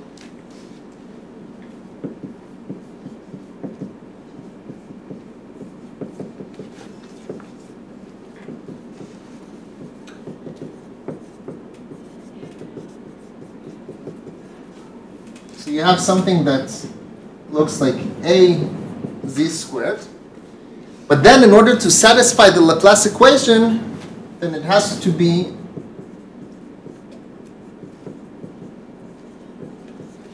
non-trapping in the x and y direction. So this is a potential that looks like a saddle. So in the z direction, it goes it looks like this, but in the x y direction, it looks like this. Okay? This is x and y. So this is a saddle. So it looks ah, like this, something like this. Okay, so in one direction you're trapped, in the other direction you are stored. And then you combine this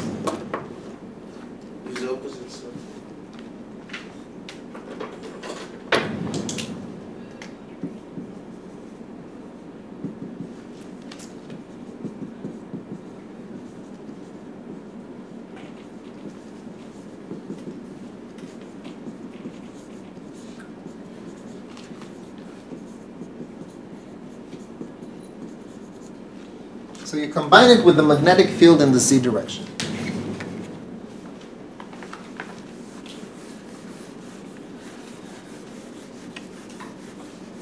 So what happens? So if you're moving in the z direction, then you're moving in this potential, and you're actually not affected by the magnetic field. Because uh, if you're moving in the z direction, then the magnetic force is v cross z, it's zero.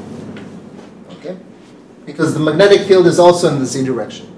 So in the z direction, you're just moving up and down. But what happens if you're moving in the xy direction?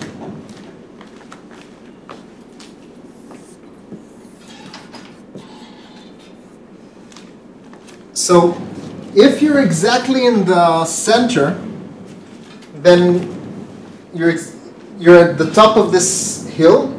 So in principle, there's no force acting at you. And if you also have zero velocity, then you're just staying put in the center. But let's say that you have a little velocity, or you're a little bit off center. Let's say you're a little bit over here.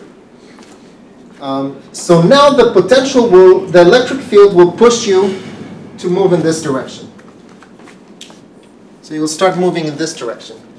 But as you move, your velocity grows.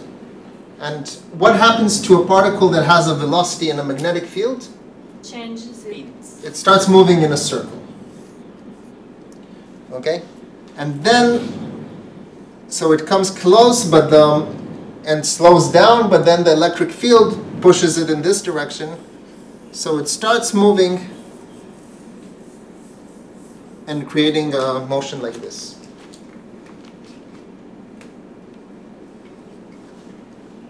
But every time it crosses uh, the y axis, it will come inside.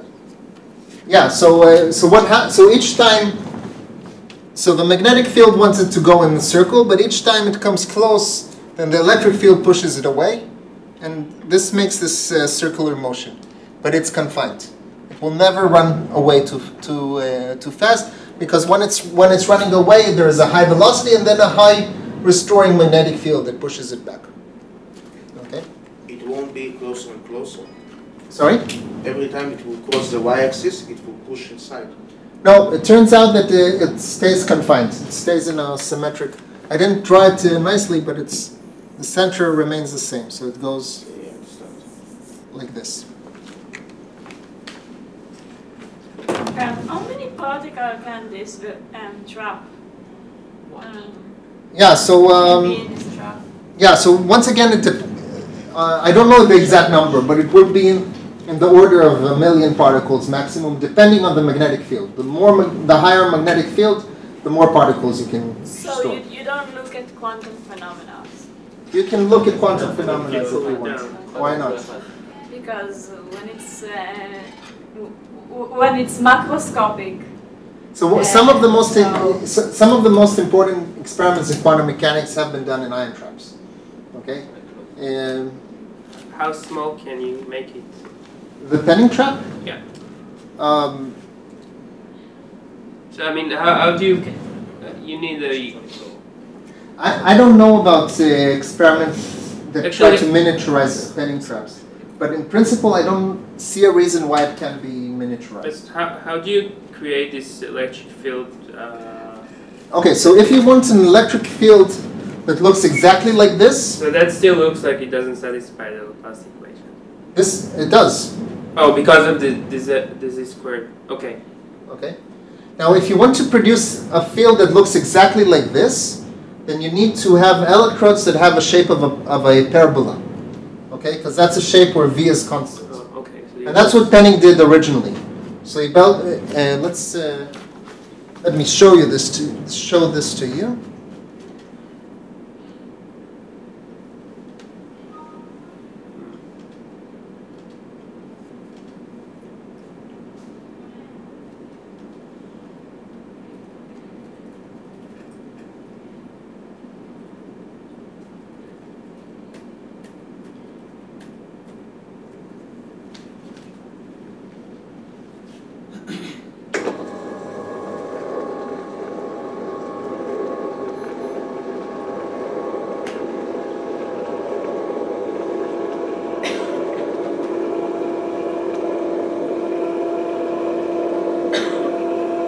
Actually, I see that I got confused.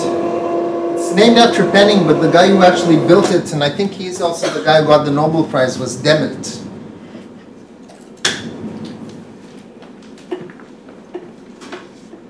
Okay, so um, to make this quadrupole uh, fields, then uh, use a ring electrode like this and end caps, and they have to be the shape of a parabola to make it uh, look exactly right.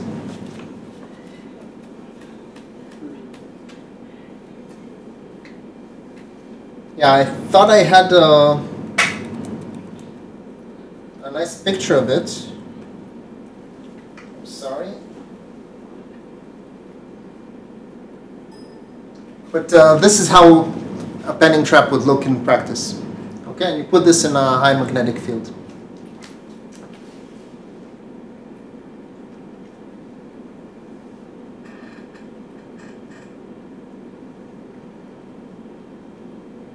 Now, the these two motions, so if you have a trap and it's a 3D trap, that means you oscillate in three directions. There's, there's in this case, one oscillation in x, y.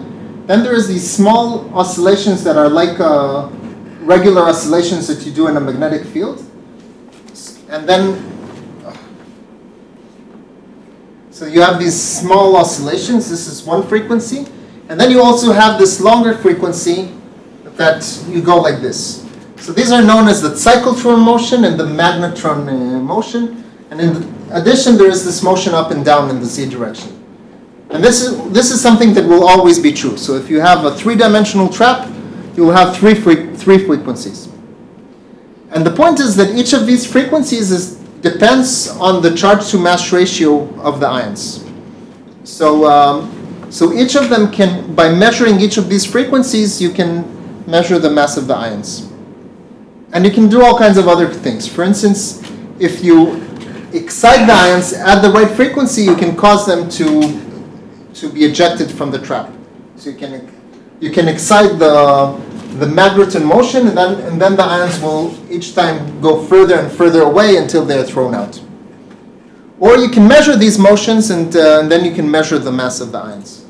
And actually, the most uh, high resolution mass spectrometers are mass spectrometers based on penning ionization. Um, penning traps, sorry. And it turns out that the shape of the trap doesn't have to be this, this exact, you don't have to have an exact potential that looks like this, which means that the electrodes don't have to be exact hyperbolas. We can have all kinds of, you can have a square configuration and it still works. Okay, it's just then the frequencies are harder to compute and they're not, it's not harmonic potential, so, so the frequency will depend on amplitude and stuff like that. Um, yeah, and if you want to measure the frequency, you also have to somehow uh, see the ions in the trap. And the point is that when an ion moves, then it creates a, it in, induces an electric charge on the electrodes. So you can measure this induced charge and then you can see the frequencies. So what you, so actually you can't see ions that are standing at rest, you can only see ions that are oscillating. So in all these, these crazy configurations, what you have is electrodes that are used to excite the, the ions, to make them move, and then electrodes that are used to image the charge. And, um, and that leads to these very sophisticated uh, uh, traps that are used as mass spectrometers. Then they're called ion cyclotron resonance. And you measure the frequency, so you do a Fourier transform, and that's why they're called Fourier transform ICR, FTICR. And if you have a trap that looks very beautiful, like an hyperbola, then you have very nice trajectories if you have a trap that is looks like a box, then the trajectories look really ugly, but it still works as a trap.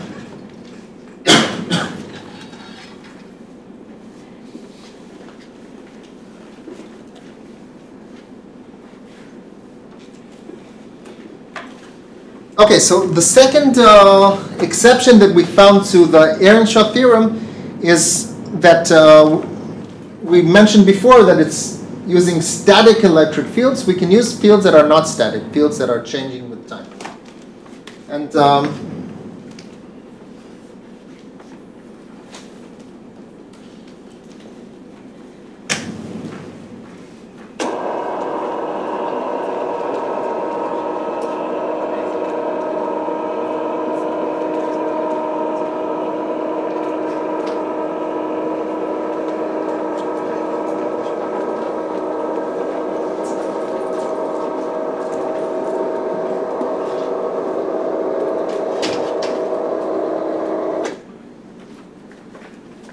Can do that the size of the parabola is changing in time. so it's- Yeah, so the idea of uh,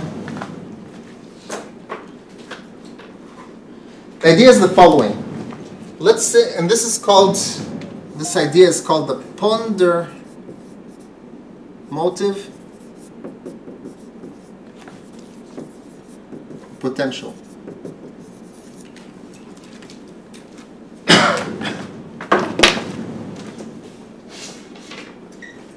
So let's say you have a stick, and this is um, a trap. It's a stable, uh, stable um, a point, but you also have an unstable point over here, right? Because if it goes in this direction, it falls. But if I'm very good, then I can stabilize the stick, right? And what, what I'm doing is I'm looking where it goes and I move my hand, Feedback loop. like a feedback loop. But it turns out that you can do this even without feedback. So if I move my hand uh, fast enough, then it's stable even without any feedback. Okay? And this is, this is based on something called the ponderomotive potential. So how does this work? So it turns out that if you have a, a force that is oscillating in time, but there is a region where it oscillates very strongly, and the region where it oscillates weaker in a smaller amplitude.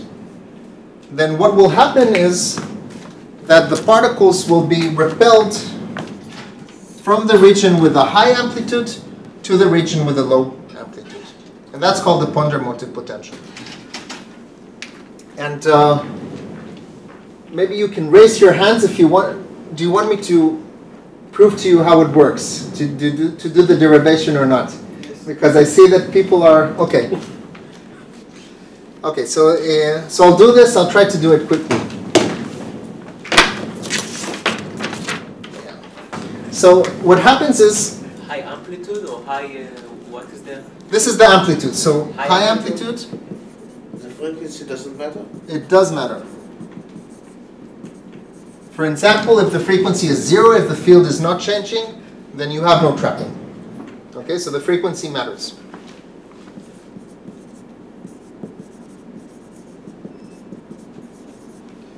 So the particles are pushed from the region with high amplitude to the region with low amplitude. That's the idea of the ponderomotive potential. I'll just say how you can use it as a trap. So let's say you have a saddle,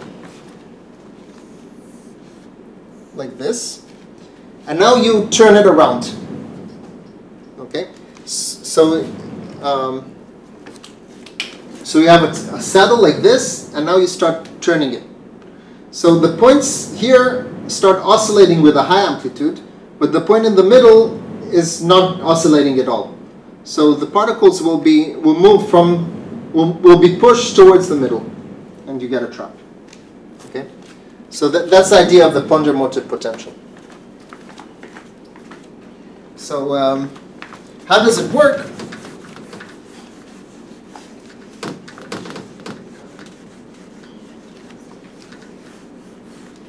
So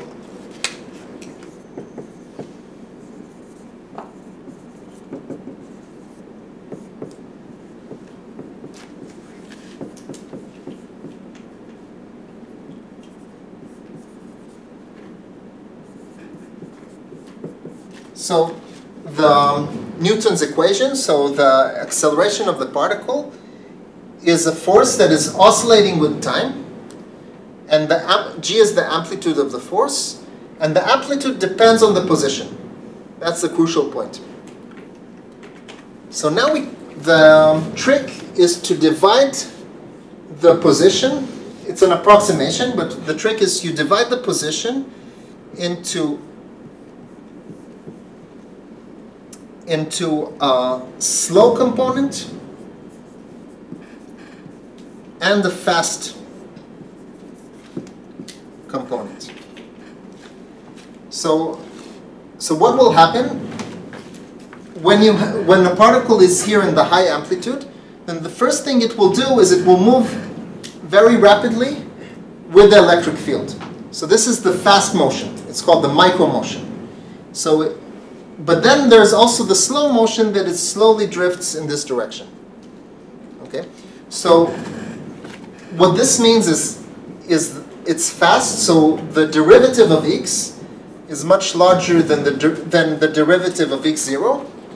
But on the other hand, x0 is so this motion here is much faster than this motion here. But on the other hand, x0 can be much larger than x1.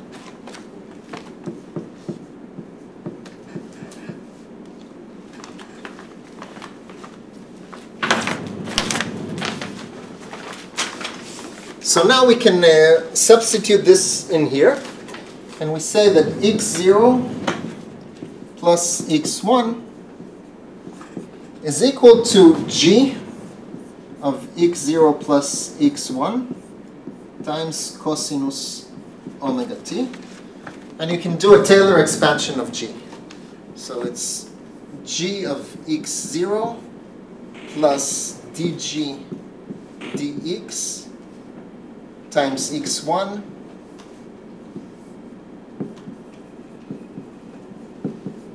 But x0 and x1 are not small, so how, so Okay, this approximation is not, Just so so far it's not an approximation.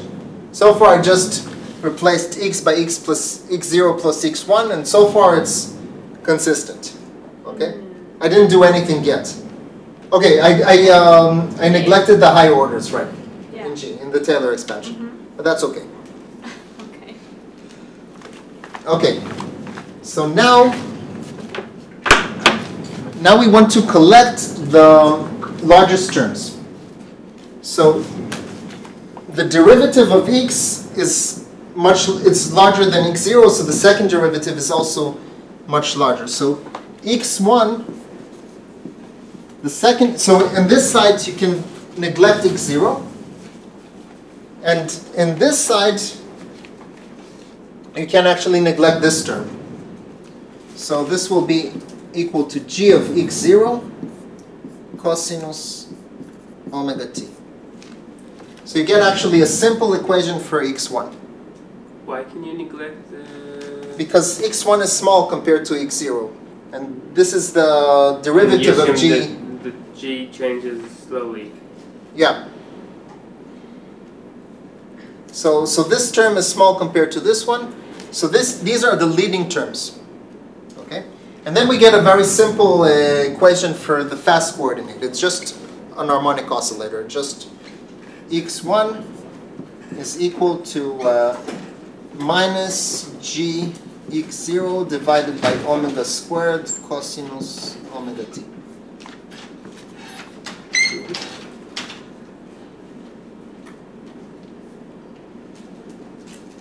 And now the second stage is we can plug this back in here and then x1 dot plus gx0 times cosinus omega t Guys, dies and you're left with x0 times dg times x1 cosinus omega t.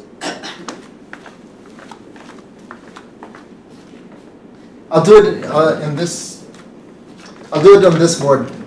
Sorry for the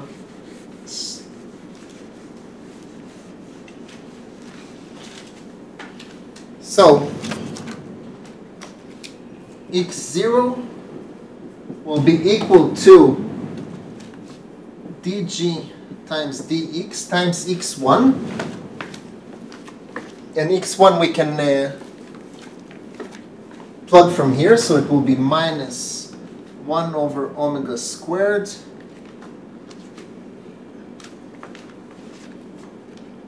um, g of x0 times cosinus omega t. Right? Now the, there's a trick that d of g squared is equal to to twice g times dg dx. So we, we have g times dgx, so x0 is equal to minus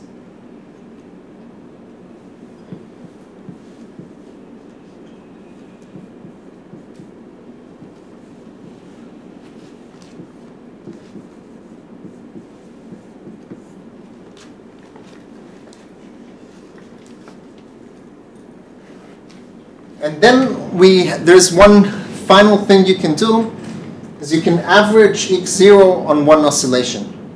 Why? Because x0 is one these oscillations are very fast and x0 is very slow. So you can make an average so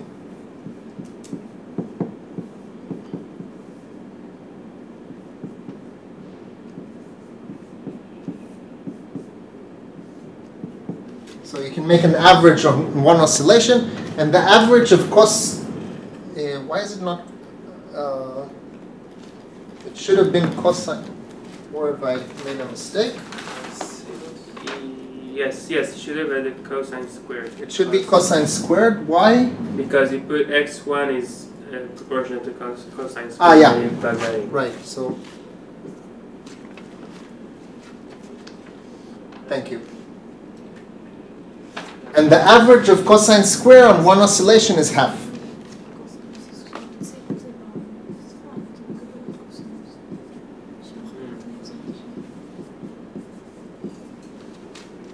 Okay?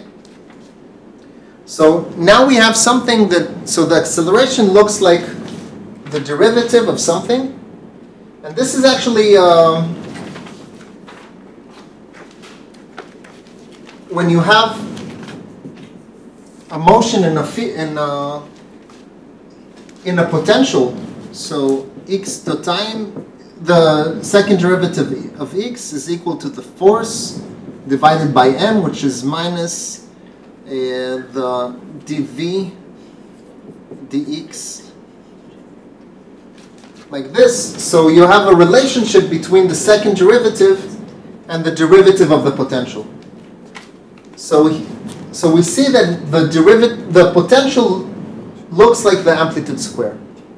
And if you do the math exactly, then you get that uh, the potential will be m over q g x squared divided by 4 omega squared.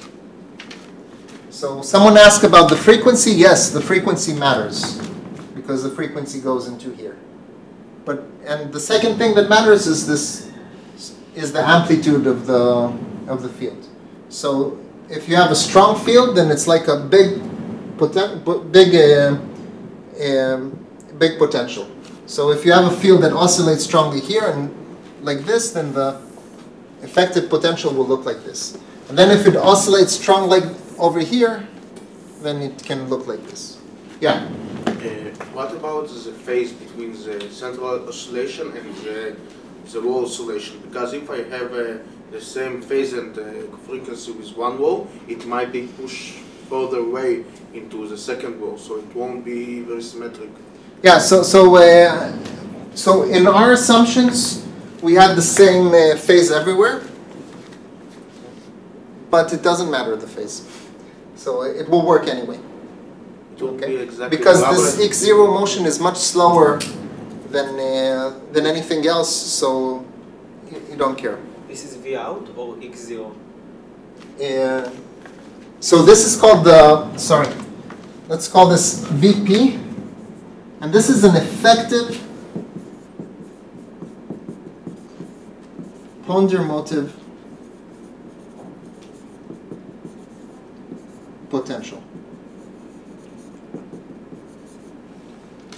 So it's an effective potential. It's not a real potential. So you have a particle and it has a fast motion that's governed by the real potentials, and that doesn't know anything about this.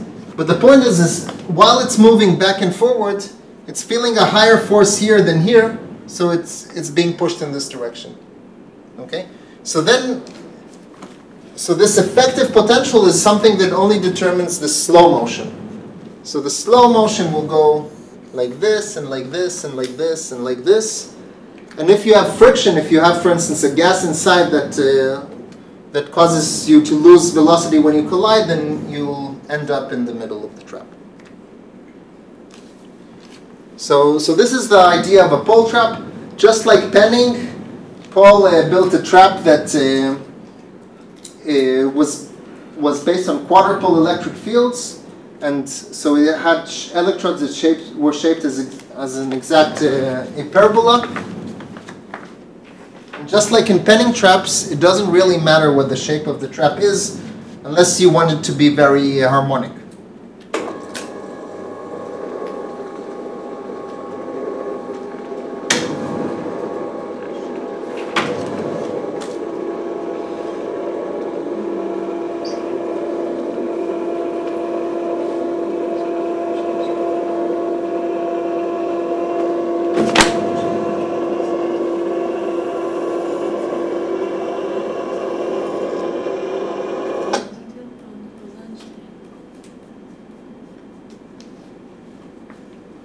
Um, so this was a, the original trap of Paul, where he had a, a potential that really looks like a saddle that turns around. Um, then the most uh, actually useful trap of this kind is called a quadrupole ion trap, and the idea is that you have the saddle only in x and y, where so it, you rotate freely in x and y, and then in z it's you just don't have any field along the trap in the z direction. Only in the two ends you have uh, end caps that are pushing you back in. So that means that in x and y you're confined, in the z you can move along the trap like this. This is used uh, a lot for all the experiments with laser cooling and quantum computation. They mainly use this kind of trap because you have ions on a string in the middle and they can easily be addressed with a laser and cool down and, and then you can do quantum computations and all kinds of other rubbish. Um, I didn't say this. and it's also good for mass selection. So it turns out that if in addition to the oscillating fields, you also apply a DC field, then the trapping will work only for specific masses. And then you can store the, um, select ions according to their mass. To do, to understand that, you need to uh, solve the Mathieu equation, and I won't go into that. I'll just mention that there is one trouble, problem with these kinds of traps, and the problem is that you have this micro motion. You have this fast motion up and down. And this is bad if you uh, want to cool ions down, because what you, how do you cool ions down? You have a cold gas, and by collisions with the gas, you cool down. But if you're moving very fast, then the collisions will heat you up instead of cooling you down. So this, this is a bad trap for cooling stuff. Good for heating. It's good for heating, yeah. So th- this is the original trap where you have a saddle that turns out and you're in one motion. You can have these quadrupole ion traps and then you have the saddle only in x, y, and in z you can move. But you have this heating. But it turns out that if instead of using four electrodes, you use more electrodes, for instance, eight electrodes or 22 electrodes, then what happens is that you have these oscillating, strong oscillating fields close to the electrodes, but towards the center, the, the fields, they cancel each other out. So in the center, there's no field at all. And the more electrodes you have, the bigger the region in the center where, where it's like a constant, where there's no field at all. So this is like a, like a bottle where in the middle you, you can move freely, no fields, and only when you come close to the edges, then you feel this force. And these traps are very, very good at cooling stuff down.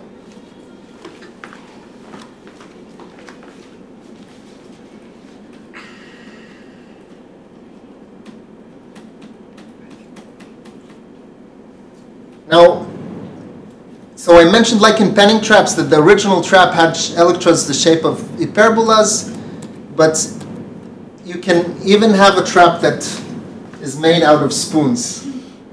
So what you have is an electrode in the middle where you apply uh, an oscillating electric field and you can have two spoons for both sides and it still works.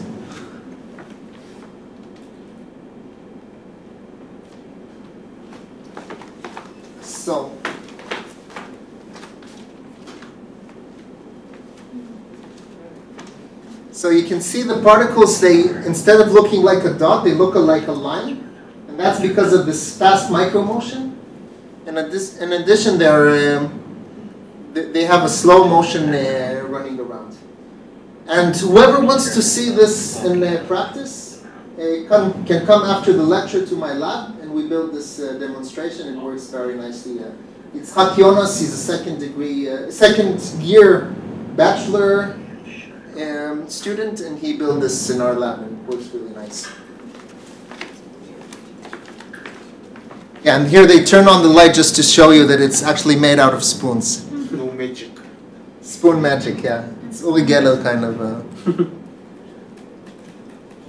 Okay, I'll, I'll uh, just briefly say.